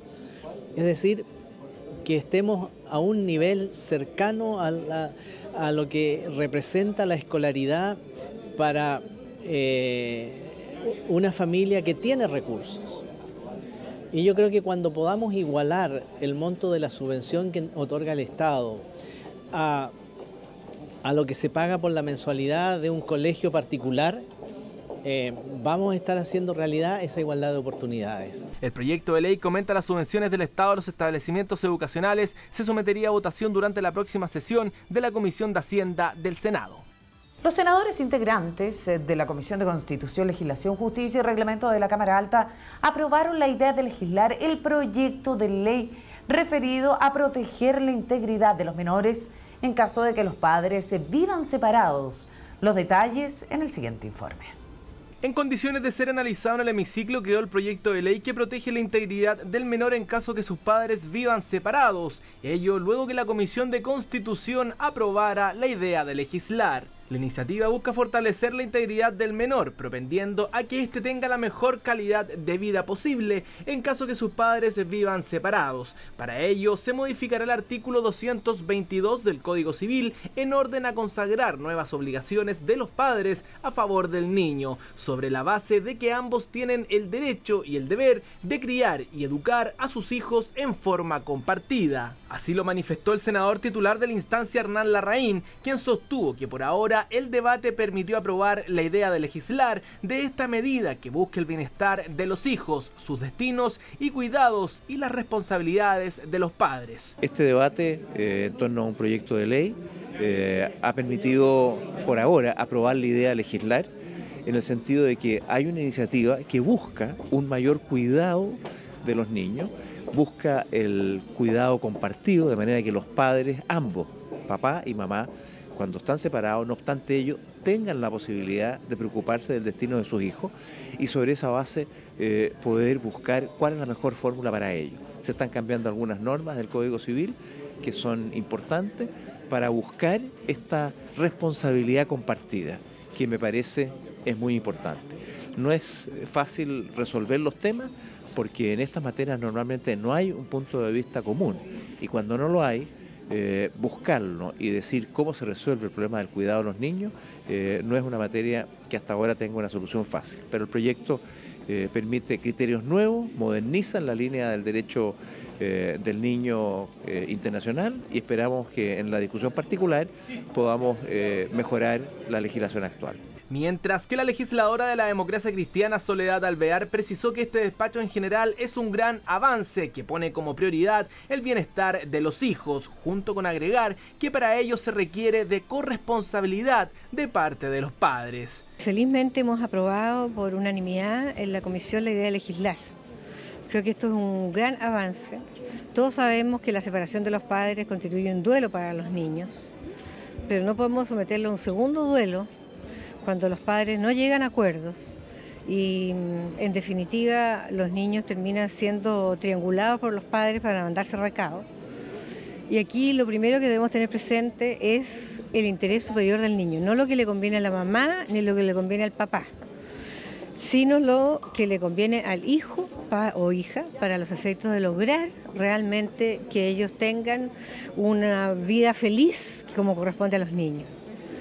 Queremos postular, al menos mi posición, la corresponsabilidad de los padres. No puede ser que los papás sean solo proveedores y la mamá queden al cuidado de los hijos, eh, sino que la corresponsabilidad es obligación de ambos. El cuidado de los niños es una tarea que corresponde al papá y a la mamá. De esta manera, el proyecto de ley que introduce modificaciones al Código Civil para proteger la integridad de los menores en caso de que sus padres vivan separados será analizado y votado por el Pleno de Legisladores en los próximos días. Los invito a ver qué es lo que ocurrió en el trabajo legislativo desarrollado durante este mes de junio en la Comisión de Medio Ambiente y Bienes Nacionales.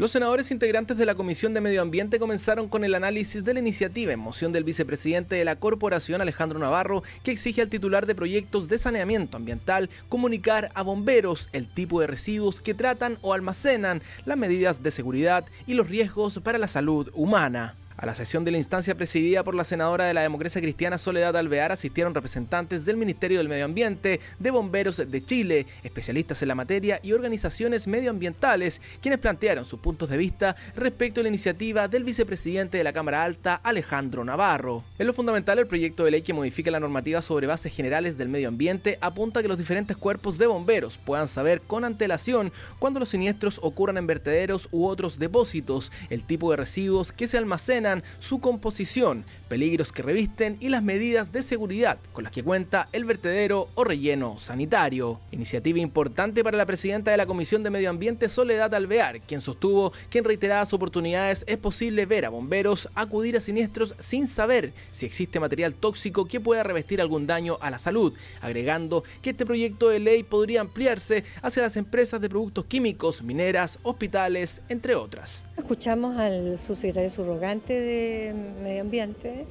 también al jefe del cuerpo bombero y a un especialista, dos especialistas sobre los temas medioambientales, uno de la Universidad de Chile y la señora Flavia Liberona de la Fundación Terra. La verdad es que es un proyecto de, de bastante importancia en mi juicio porque hemos visto que muchas veces bomberos tienen que llegar a lugares donde hay productos químicos Em, o estos vertederos y que eh, no saben los bomberos con qué elementos se encuentran ahí, cómo combatir el incendio, incluso la implementación física que deben llevar para estos efectos. Creo que es un buen proyecto, sin embargo yo lo ampliaría. El proyecto plantea solo el caso de los vertederos. Yo, por cierto, lo ampliaría a empresas de productos químicos, a, las empresas mineras, los desechos de las empresas mineras y de otro tipo de empresas, incluso los desechos de los hospitales, de las clínicas, etcétera, etcétera. Entonces es un proyecto de una buena iniciativa, pero que además, a mi juicio, debemos ampliarlo. Creo que es necesario una ley no un decreto como algunos manifestaban, porque el imperio de la ley eh, es más fuerte y no se cambia como se pueden cambiar los decretos. Así que solicitamos información para poder tenerla, por ejemplo, de todos los vertederos que existen en el país después del terremoto, hay muchos que son ilegales. Eh, así como también de las distintas normas que existen y de las mociones sobre temas que sean eh, similares, de manera tal de poder continuar con el tratamiento del tema con toda la información. Por su parte, el vicepresidente del Senado, Alejandro Navarro, señaló que hace años que la institución de bomberos ha estado expuesta a sustancias tóxicas, por lo que debe existir la información sobre los elementos que puedan ser nocivos para la salud al interior de las empresas y que ponen en riesgo la vida de los bomberos de Chile. Desde Maticin eh, Polimac, el año 95, el peor desastre de un incendio de una industria de productos químicos que está provocando hasta ahora, desde el, año 95 a la fecha, la muerte de bomberos, dado que más de 1.500 funcionarios combatieron el fuego sin ningún tipo de protección. Eh, se ha puesto en debate el proyecto de ley que busca incorporar en el artículo número 12 de la Ley de Base del Medio Ambiente la obligación de que en los rellenos eh, sanitarios para materiales peligrosos industriales, eh, hay una información del contenido de ese depósito eh, inerte y de residuos a Bomberos de Chile, esperamos a los servicios ambientales y también a la autoridad sanitaria. Creemos que esto es necesario toda vez que hoy día Bomberos no cuenta con ninguna información de los elementos que hay al interior de la empresa cuando están produciendo materiales plásticos, por ejemplo, o cuando estos materiales residuales son llevados a un relleno sanitario o un relleno industrial y eso provoca que en caso de accidente eh, la población y particularmente los bomberos queden expuestos a consecuencias fatales. Otro de los aspectos que persigue este proyecto de ley es establecer una sanción y una exigencia a las empresas que intentan llevar a cabo un proyecto de relleno sanitario, estableciendo que es condición obligada dar información respectiva al cuerpo de bomberos. Los invitamos a conocer cuáles fueron los temas que abordó el ministro de Obras Públicas, Lawrence Goldberg, la visita que hizo a la Comisión de Zonas Extremas. Hasta el Senado en Valparaíso llegó el ministro de Obras Públicas, Lawrence Goldborn, para exponer ante la Comisión de Zonas Extremas todo lo relacionado con el avance del cronograma de actividades del proyecto de construcción de camino de la carretera austral ponencia en la que el secretario de Estado informó a los legisladores sobre el retraso de las expropiaciones comprometidas. Dicho atraso del calendario, según lo informado por la autoridad de gobierno, comprende las expropiaciones en el tramo entre Pichanco y Caleta Gonzalo, que a juicio de los senadores integrantes de la Comisión de Zonas Extremas debían estar realizadas, manifestando que para este tema no ha habido sentido de prioridad del Ejecutivo. En este sentido, el presidente de la instancia de Zonas Extremas, el legislador independiente por la región de Magallanes y la Antártica chilena, Carlos Bianchi, manifestó que no se entiende cómo se retrasa todo el progreso, la conectividad y la conexión del país en el extremo sur. El senador sostuvo que es conveniente que el gobierno cumpla con sus promesas, agregando que como grupo legislativo trabajarán para incluir más recursos en la ley de presupuestos para este tema. No se entiende, o sea, sinceramente no se entiende cómo se retrasa todo el progreso, la conectividad, fundamentalmente la conexión de nuestro país eh, en el extremo sur y es una situación tremendamente compleja. Eh,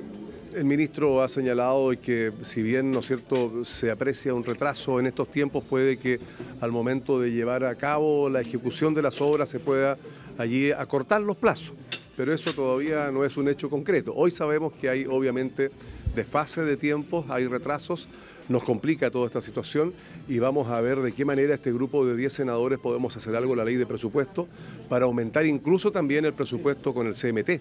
Eh, que es quien lleva adelante todos estos trabajos en los lugares más apartados. Mientras que el legislador de Renovación Nacional por la región de Aysén del general Carlos Ibáñez del Campo, Antonio Horvat, señaló que el problema de fondo se da porque los estándares con los cuales hace camino el Ministerio de Obras Públicas no le dan sustentabilidad, por lo tanto, Hacienda no les otorga presupuesto. Es por esto que el senador instó al gobierno a que se acostumbre a hacer las cosas por etapas para que los proyectos resulten rentables. Hay un problema de fondo porque los estándares con los cuales hace camino el Ministerio de Obras Públicas no le dan rentabilidad y por lo tanto el Ministerio de Hacienda no les da presupuesto. La experiencia que nosotros tenemos en la construcción del Camino Austral, en que entre Chaitén y que se abren 280 kilómetros de camino nuevo, en condiciones de igual dificultad que hoy en día hay en la provincia de Palena o en el sur de Tierra del Fuego, esa experiencia por etapa permitió lograr la rentabilidad, los presupuestos, por lo tanto lo que nosotros le pedimos al Ministerio de Obras Públicas y al Gobierno, que se acostumbre a hacer las cosas por etapa, no sean tan rangosos para que efectivamente las rentabilidades den. Esto tiene beneficios económicos, tiene beneficios sociales porque participan empresas chicas de la región y tiene beneficios ambientales porque no se produce un impacto irreversible sobre la naturaleza. Si hacemos las cosas por etapa, senda de penetración, camino de penetración, los plazos dan. Se puede abrir un camino por Chile desde Chaitén a Puerto Montt en menos de tres años y se puede conectar como camino de penetración en un plazo menor a tres años y que todos los chilenos lleguen al canal Bill. Eso es lo que nosotros estamos discutiendo, no enfrascarse en temas de alto estándar, procesos largos de expropiación, porque esto dilata las cosas en el tiempo. A su vez, el legislador por la misma región, Patricio Walker, reconoció sentirse frustrado tras conocer el informe expuesto por el ministro Lawrence Goldborn, pues según el cronograma, este año deberían haber estado listas varias de las etapas que según el secretario de Estado finalizarán durante el próximo año. El senador demócrata cristiano insistió en que Chile sigue partido en dos, sin prioridad presidencial. Como senador por la región de Aysén, quiero decir que me voy frustrado de esta sesión que hemos tenido, porque acá tengo yo el cronograma que se lo entregó el año pasado, en mayo del 2011 y la verdad es que este año iban a estar eh, terminados varias de las etapas que se van a terminar en el mejor de los casos al inicio del próximo gobierno, es decir, no en este gobierno. Eh, quiero señalar de que la región de Aysén hoy día no está conectada con el resto de Chile por el continente, por vía terrestre, por vía continua, y por lo tanto Chile sigue partido en dos. Y efectivamente hay eh, recursos para los estudios, para el diseño, para la expropiación, para la senda de penetración, pero no hay un solo peso para construir el camino, la carretera austral que une la región de Aysén con el resto de Chile. Y eso a mí me parece lamentable, porque no hay que esperar que estén todos los diseños, todos los estudios para darle prioridad presidencial a estas obras. Ejemplo, Chiloé. El puente Chacao, faltan muchos estudios para que se pueda hacer, pero hubo una decisión política del presidente Piñera de entregar más de 700 millones de dólares para hacer el puente Chacao y llamar a una licitación internacional. Bueno, acá no hay la misma decisión política, no hay prioridad presidencial para la ejecución de la carretera austral. Finalmente, el secretario de Estado de Obras Públicas, Lawrence Goldborn, manifestó que como gobierno han ido tramo a tramo resolviendo los objetivos del cronograma y que el fondo del tema es que cualquier chileno pueda transitar por el camino que una a Chile. Asimismo, el ministro dijo que existe prioridad presidencial para esto y explicó que ya se han llevado adelante varios procesos de expropiación que concluirán en 2013. Hemos ido tramo a tramo explicando los avances y cuándo cada uno de estos trabajos va a estar terminado. El foco fundamental ha sido una preocupación que sin lugar a dudas tenemos como ministerio y creo que debemos tener todos los chilenos, que es la posibilidad de que cualquier compatriota pueda circular por el territorio nacional independientemente de quién sea el propietario de esos terrenos. En particular, en la zona de Palena, donde está ubicado Parque Pumalín y Parque Huinaui, se ha avanzado fuertemente en las expropiaciones. La decisión del gobierno es muy clara en esta materia. Se va a llevar adelante el proceso expropiatorio para asegurar que cualquier compatriota pueda circular por un camino del territorio nacional en forma de que unamos Chile con Chile, que unamos por nuestro territorio las distintas ciudades de nuestro país. La decisión política del gobierno es avanzar en estas expropiaciones, porque lo más importante es asegurar que cada uno de nosotros pueda circular por el territorio nacional, por los caminos de Chile, sin perjuicio de quién hayan sido o quién haya comprado esos territorios. El representante del Ejecutivo señaló que el costo total del proyecto es de 2.000 millones de pesos y que estaría terminado gran parte del estudio, diseño y senda de penetración durante este gobierno y que la próxima administración se encargará de construir el camino con estándares nacionales. El senador Francisco Chaguán organizó junto a la ONG Red Duna Libre el seminario Las Dunas de Concón, el desafío de los espacios silvestres urbanos. Aquí está con el objetivo de generar conciencia y un debate a partir de lo ocurrido en las dunas de Concón, en la región de Valparaíso, donde la actividad inmobiliaria mantiene en jaque un corredor biológico único en el mundo, más un hábitat natural de decenas de especies vegetales. El senador de Renovación Nacional por mencionada zona, Francisco Chaguán, junto a la organización no gubernamental Red Duna Libre, realizó el seminario Las Dunas de Concón, el desafío de los espacios silvestres urbanos, que se llevó a cabo en la sala de lectura de la Biblioteca del Congreso Nacional en Valparaíso. En dicho certamen apoyado también por el Senado de la República y que contó con la presencia del legislador del Partido por la Democracia, Ricardo Lagos Weber, se analizó la necesidad de preservar el paisaje mencionado y poder avanzar en la declaratoria para que el resto del campo dunar no ocupado por proyectos inmobiliarios pueda ser declarado como santuario de la naturaleza. Así lo mencionó el senador Francisco Chaguán, quien sostuvo que esta iniciativa fue apoyada de manera transversal por la esfera política y la sociedad civil, agregando que están trabajando en una mesa para entregar los antecedentes sobre esta medida al Comité de Ministros de la Sustentabilidad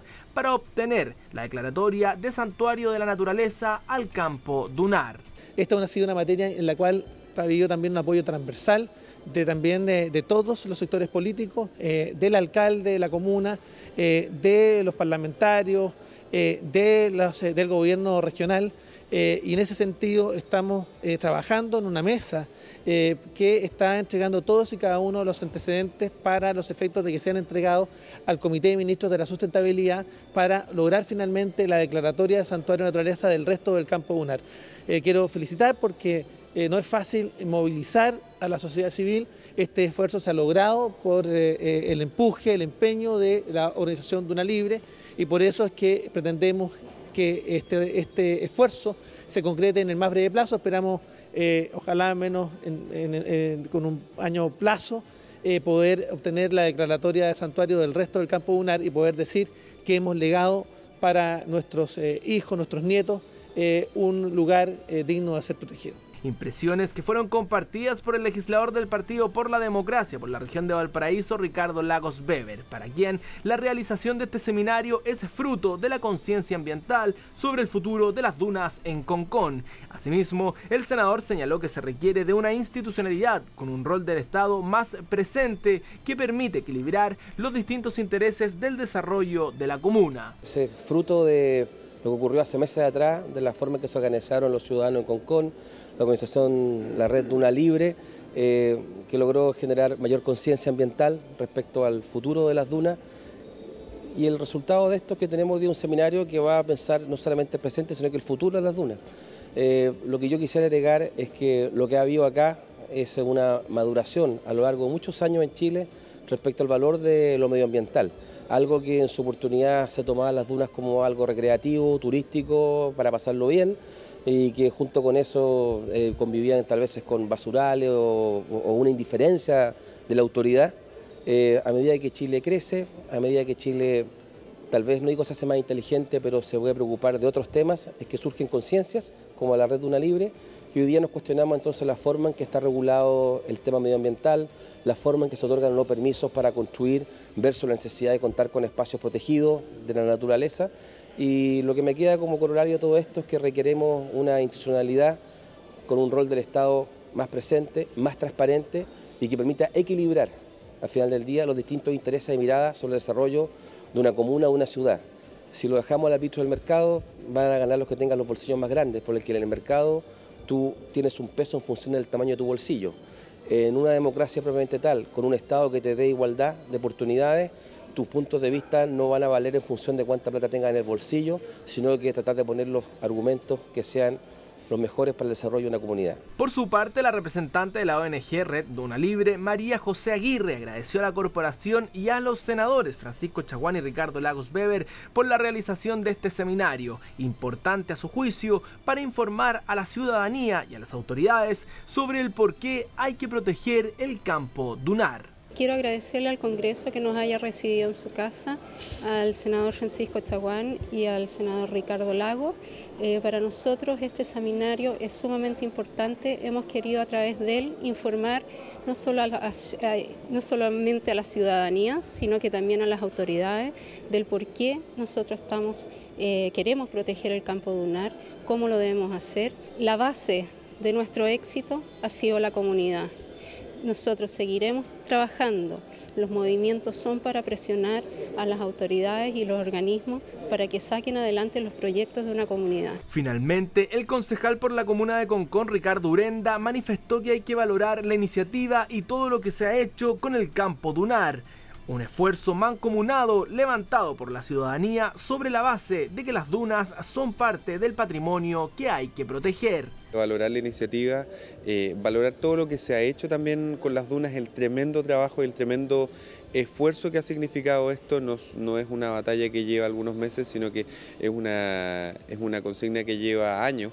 ¿ya? Eh, es un tema que importa mucho, que tiene que ver con la historia de Concón y también con la historia de la quinta región. Y mucho que ver también con el futuro y lo que nosotros pretendemos o queremos heredar a nuestros hijos y nietos. En ese sentido, eh, es, una, es un esfuerzo mancomunado, ¿ya? donde es levantado por la sociedad civil, es levantado por Retuna Libre, eh, encabezado por María José Aguirre,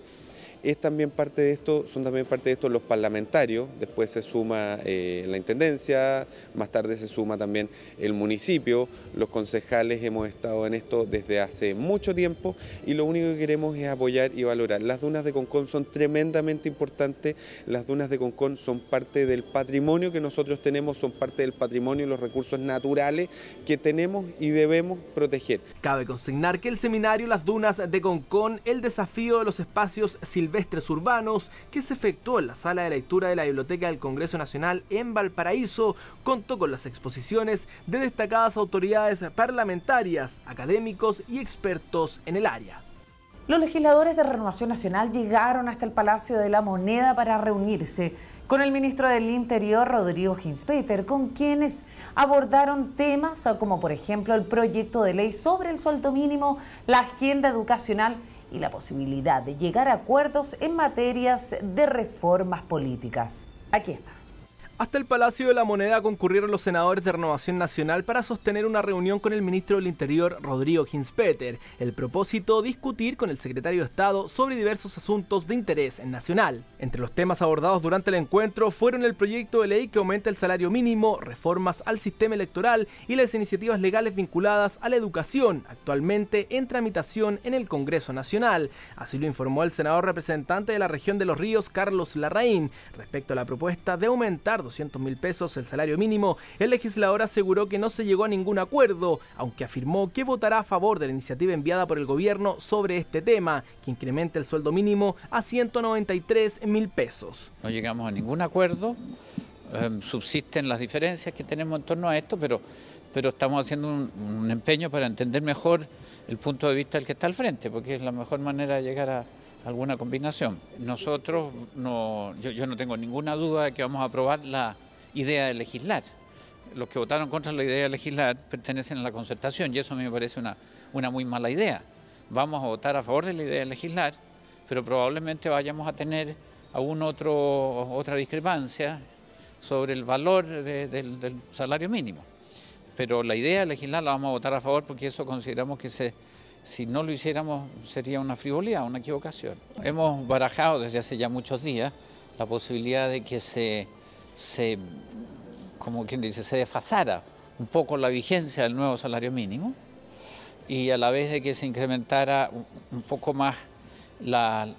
asignación familiar de los tramos que ganan menos. Respecto a la agenda educacional, el senador representante por la región de la Araucanía, Alberto Espina, señaló que con el ministro del Interior, Rodrigo Ginspeter, se abordó la necesidad de lograr acuerdos políticos en esta materia. Por ejemplo, en el proyecto de ley que establece un nuevo sistema de créditos en la enseñanza universitaria y en la iniciativa legal que crea una superintendencia de educación superior. Hemos hablado de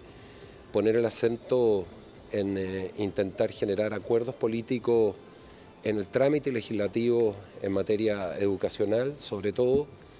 que es eh, la primera prioridad que el gobierno tiene hoy día, como es sacar adelante el nuevo sistema de crédito para los alumnos, que va a significar que el 90% de todos los estudiantes, eh, salvo que reciban becas, pueden aspirar a un crédito universitario en que se cubra el monto total de su deuda y solo pague hasta el 10% de su ingreso una vez que empiece a trabajar. Y hemos abordado también eh, temas que se refieren a la Superintendencia de Educación Superior para que regule adecuadamente que las universidades funcionen con los niveles de calidad y buen uso de los recursos públicos. Por su parte, al referirse a las reformas políticas, el senador representante de la región de Valparaíso, Francisco Chaguán, informó que al secretario de Estado le plantearon dos fórmulas orientadas a modificar el actual sistema electoral, como la posibilidad de rebajar la cantidad de distritos o bien establecer cupos legislativos compensatorios. Tenemos dos fórmulas eh, que implican no sumar más diputados, sino por el contrario, generar un redistritaje, eh, estableciendo un sistema proporcional moderado, bajando de 60 a 34 distritos, eligiendo 120 diputados, o si no, a través de la vía que ya le entregamos, eh, alternativa que ya le entregamos a la expresidenta Bachelet en el año 2006 y del cual nunca hubo respuesta respecto de los cupos compensatorios. Por tanto, Renovación Nacional tiene ya una posición y también que nosotros vamos a seguir adelante eh, con eh, eh, el cambio al régimen político y las conversaciones con la DC se van a seguir incrementando. Nosotros, el informe de Procuriza bajó justamente esas propuestas contenidas en aquel informe y nosotros vamos a seguir adelante en esas conversaciones. Cabe mencionar que actualmente en el Congreso Nacional se está discutiendo un proyecto de reforma constitucional que aumente el número de diputados de 120 a 150 el legislador representante de la región de Magallanes y la Antártica chilena Carlos Bianchi se reunió con el secretario general de gobierno Andrés Chadwick. Lo invitamos a revisar cuáles fueron los temas que abordaron. Con el objetivo de otorgar mayores oportunidades y beneficios a las fuerzas vecinales y sociales, el senador independiente por la región de Magallanes y la Antártica chilena, Carlos Bianchi, presentó una iniciativa de ley al ministro secretario general de Gobierno, Andrés Chadwick, centrado en el fortalecimiento y acceso a diversos beneficios para las juntas vecinales y dirigentes sociales. En el encuentro, realizado en la sede del Senado en Valparaíso, el legislador Carlos Bianchi explicó al secretario de Estado los alcances de esta iniciativa, que tiene como característica principal permitir que se destinen recursos del Estado para mencionadas organizaciones sociales, donde se discuten problemáticas de repercusión directa sobre personas y familias. Así lo afirmó el senador independiente por la región de Magallanes y la Antártica chilena, Carlos Bianchi, quien sostuvo que el ministro captó la idea de la pieza legislativa, agregando que si el Ejecutivo no lo toma en cuenta ni da su respaldo, se estaría perdiendo la oportunidad de ir en ayuda de las diversas fuerzas sociales de nuestro país. El ministro, que fue senador y por lo tanto tiene mayor eh, acercamiento con las bases, con la gente, entendió el significado que tiene este proyecto de ley el gobierno se estaría farreando una tremenda oportunidad si no acoge este proyecto. ¿Y por qué lo digo? Porque este proyecto lo que pretende, en resumen, es que habiendo fondos para las organizaciones sociales, esos fondos se van para estudios, para análisis y queda siempre curiosamente en las manos de unos muy pocos. ¿Qué hemos dicho? Ministro, gobierno,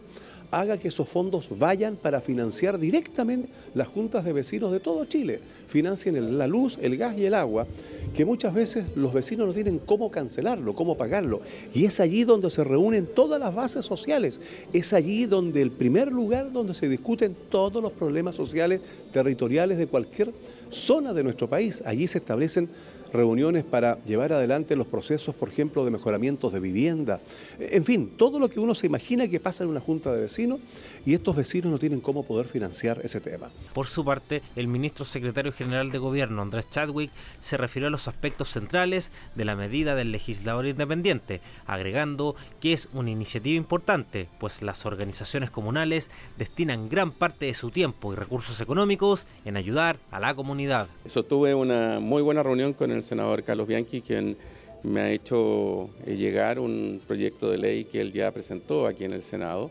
y que apunta algo que para efectos del gobierno también es muy importante y significativo, como es la colaboración que el Estado debiera entregarle a, a lo que es nuestra principal estructura de participación social, como son precisamente nuestras juntas de vecinos y nuestras uniones comunales. Eh, los dirigentes sociales, los dirigentes vecinales son personas de un gran, gran esfuerzo y que entregan eh, parte importante de su tiempo con sus propios recursos, disponiendo de muchas veces de, o, teniendo que asumir muchas dificultades, precisamente para poder eh, generar servicios y ayuda a la comunidad. Y eso queremos, y en el proyecto del senador Bianchi está muy bien contemplado, es generar un reconocimiento del Estado a ellos por la vía de poder tener un, seguro de, salud que les pueda permitir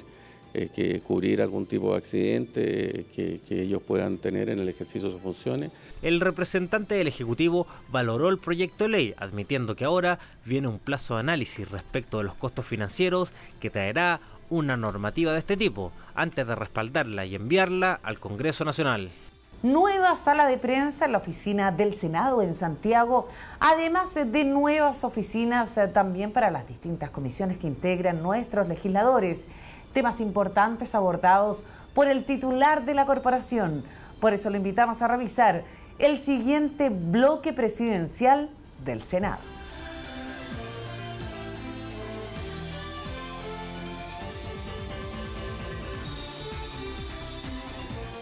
Hasta las dependencias del Teatro Nacional Chileno concurrió el presidente del Senado, Camilo Escalona Medina, para presentar el libro Reconcomios Racionales y Afectivos, escrito por el gran maestro de la Gran Logia de Chile y ex rector de la Universidad de Chile, Luis Riveros. Esta obra literaria aborda los principios de la masonería de nuestro país a lo largo de sus 150 años de existencia en ámbitos como la educación y el trabajo, mencionándolos como instrumentos para superar las desigualdades existentes en Chile. Así lo explicó el titular de la Cámara Alta, Camilo Escalona Medina, que manifestó que el libro Reconcomios Racionales y Afectivos hace una mirada crítica al actual sistema de enseñanza escolar y superior de nuestro país. Para el legislador, esto es un llamado de atención por la debilidad chilena en esta materia durante los últimos 20 años. Nos llama la atención el valor de la educación nos llama la atención a los demócratas chilenos respecto de una tarea eh, inconclusa. Y el, valor de la educación, que es una mirada crítica que tiene el profesor Rivera respecto de, de la situación de nuestro sistema de enseñanza, no solamente en el ámbito universitario, sino que también en el ámbito de la educación media o básica y media, es en esta reflexión sobre el valor de la educación yo creo que es una severa llamada de atención. Además del presidente del Senado, Camilo Escalona Medina, el lanzamiento del libro Reconcomios Racionales y Afectivos contó con la presencia de diversas personalidades vinculadas al mundo académico y de la masonería. Junto a funcionarios y legisladores de diversas bancadas, el presidente del Senado, Camilo Escalona Medina, inauguró dos nuevas salas construidas en las dependencias de la corporación en Valparaíso. Una será destinada al trabajo de la Comisión de Hacienda y la otra a la labor de la instancia de economía. Hasta el Salón de Honor de las Dependencias de la Casa Central de la Universidad Católica de Valparaíso concurrió el presidente del Senado, Camilo Escalona Medina, hasta donde fue invitado para inaugurar el ciclo de encuentros Pensando Chile, organizado por ese plantel. La crisis de representatividad que vive actualmente el sistema político de nuestro país en su conjunto, incluyendo al gobierno, al Congreso Nacional y a los partidos políticos, fue parte de la exposición realizada por la máxima autoridad legislativa, quien aludió a lo que piensa la ciudadanía. Tras el discurso, el titular de la Cámara Alta, Camilo Escalona Medina, reiteró que el sistema político de Chile se encuentra actualmente ante una ciudadanía más informada, asegurando que lo que quiere la sociedad de sus representantes es una solución práctica a los problemas. Lo que la sociedad quiere es una solución, una respuesta, quiere acción práctica, no solamente retórica discursiva.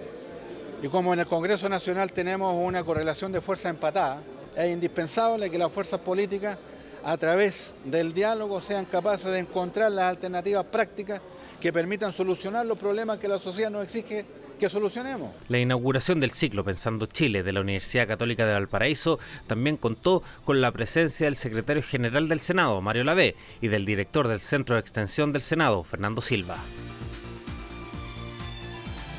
Hasta las oficinas del Senado en Santiago concurrió el líder del movimiento social por la región de Aysén, Iván Fuentes, para sostener una reunión con el presidente de la Cámara Alta, Camilo Escalona Medina. El propósito, analizar el avance de la ejecución de los acuerdos suscritos entre esa agrupación y el Poder Ejecutivo. Cabe recordar que entre mediados de febrero y finales de marzo de 2012 se produjeron movilizaciones en la región de Aysén del general Carlos Ibáñez del Campo, demandando mayor atención de las autoridades a sus necesidades.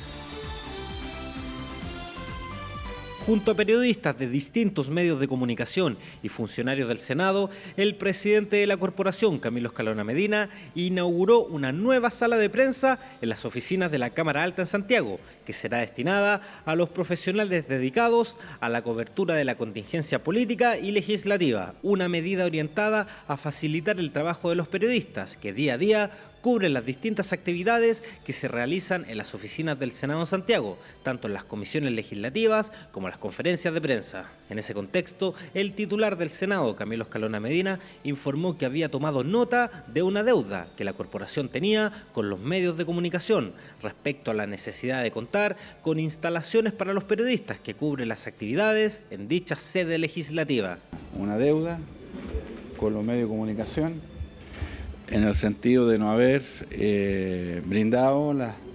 condiciones apropiadas que pudiésemos entregar en esta sede ubicada en la ciudad de Santiago los medios de comunicación. La nueva sala de prensa, inaugurada en las oficinas del Senado de Santiago, quedó disponible para los periodistas de los medios de comunicación a partir del 18 de junio de 2012.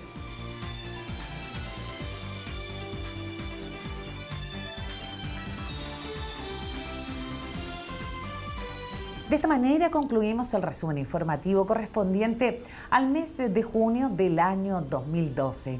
Gracias al equipo de prensa conformado por nuestros periodistas, editores, camarógrafos y asistentes de cámara, entregamos a ustedes el trabajo que realizan nuestros 38 senadores, representantes de cada una de las regiones de nuestro país y que mejoran la calidad de vida de todos los chilenos. Los invito a que ingresen a www.senado.cl. Interese más sobre quienes conforman las distintas comisiones de la Cámara Alta y lo que sucede en la sala de sesiones los martes y los miércoles. Soy Jessica Soto Huerta. Gracias por habernos acompañado y los invito a que sigan junto a la programación que Red de Televisión del Senado ha preparado especialmente para ustedes.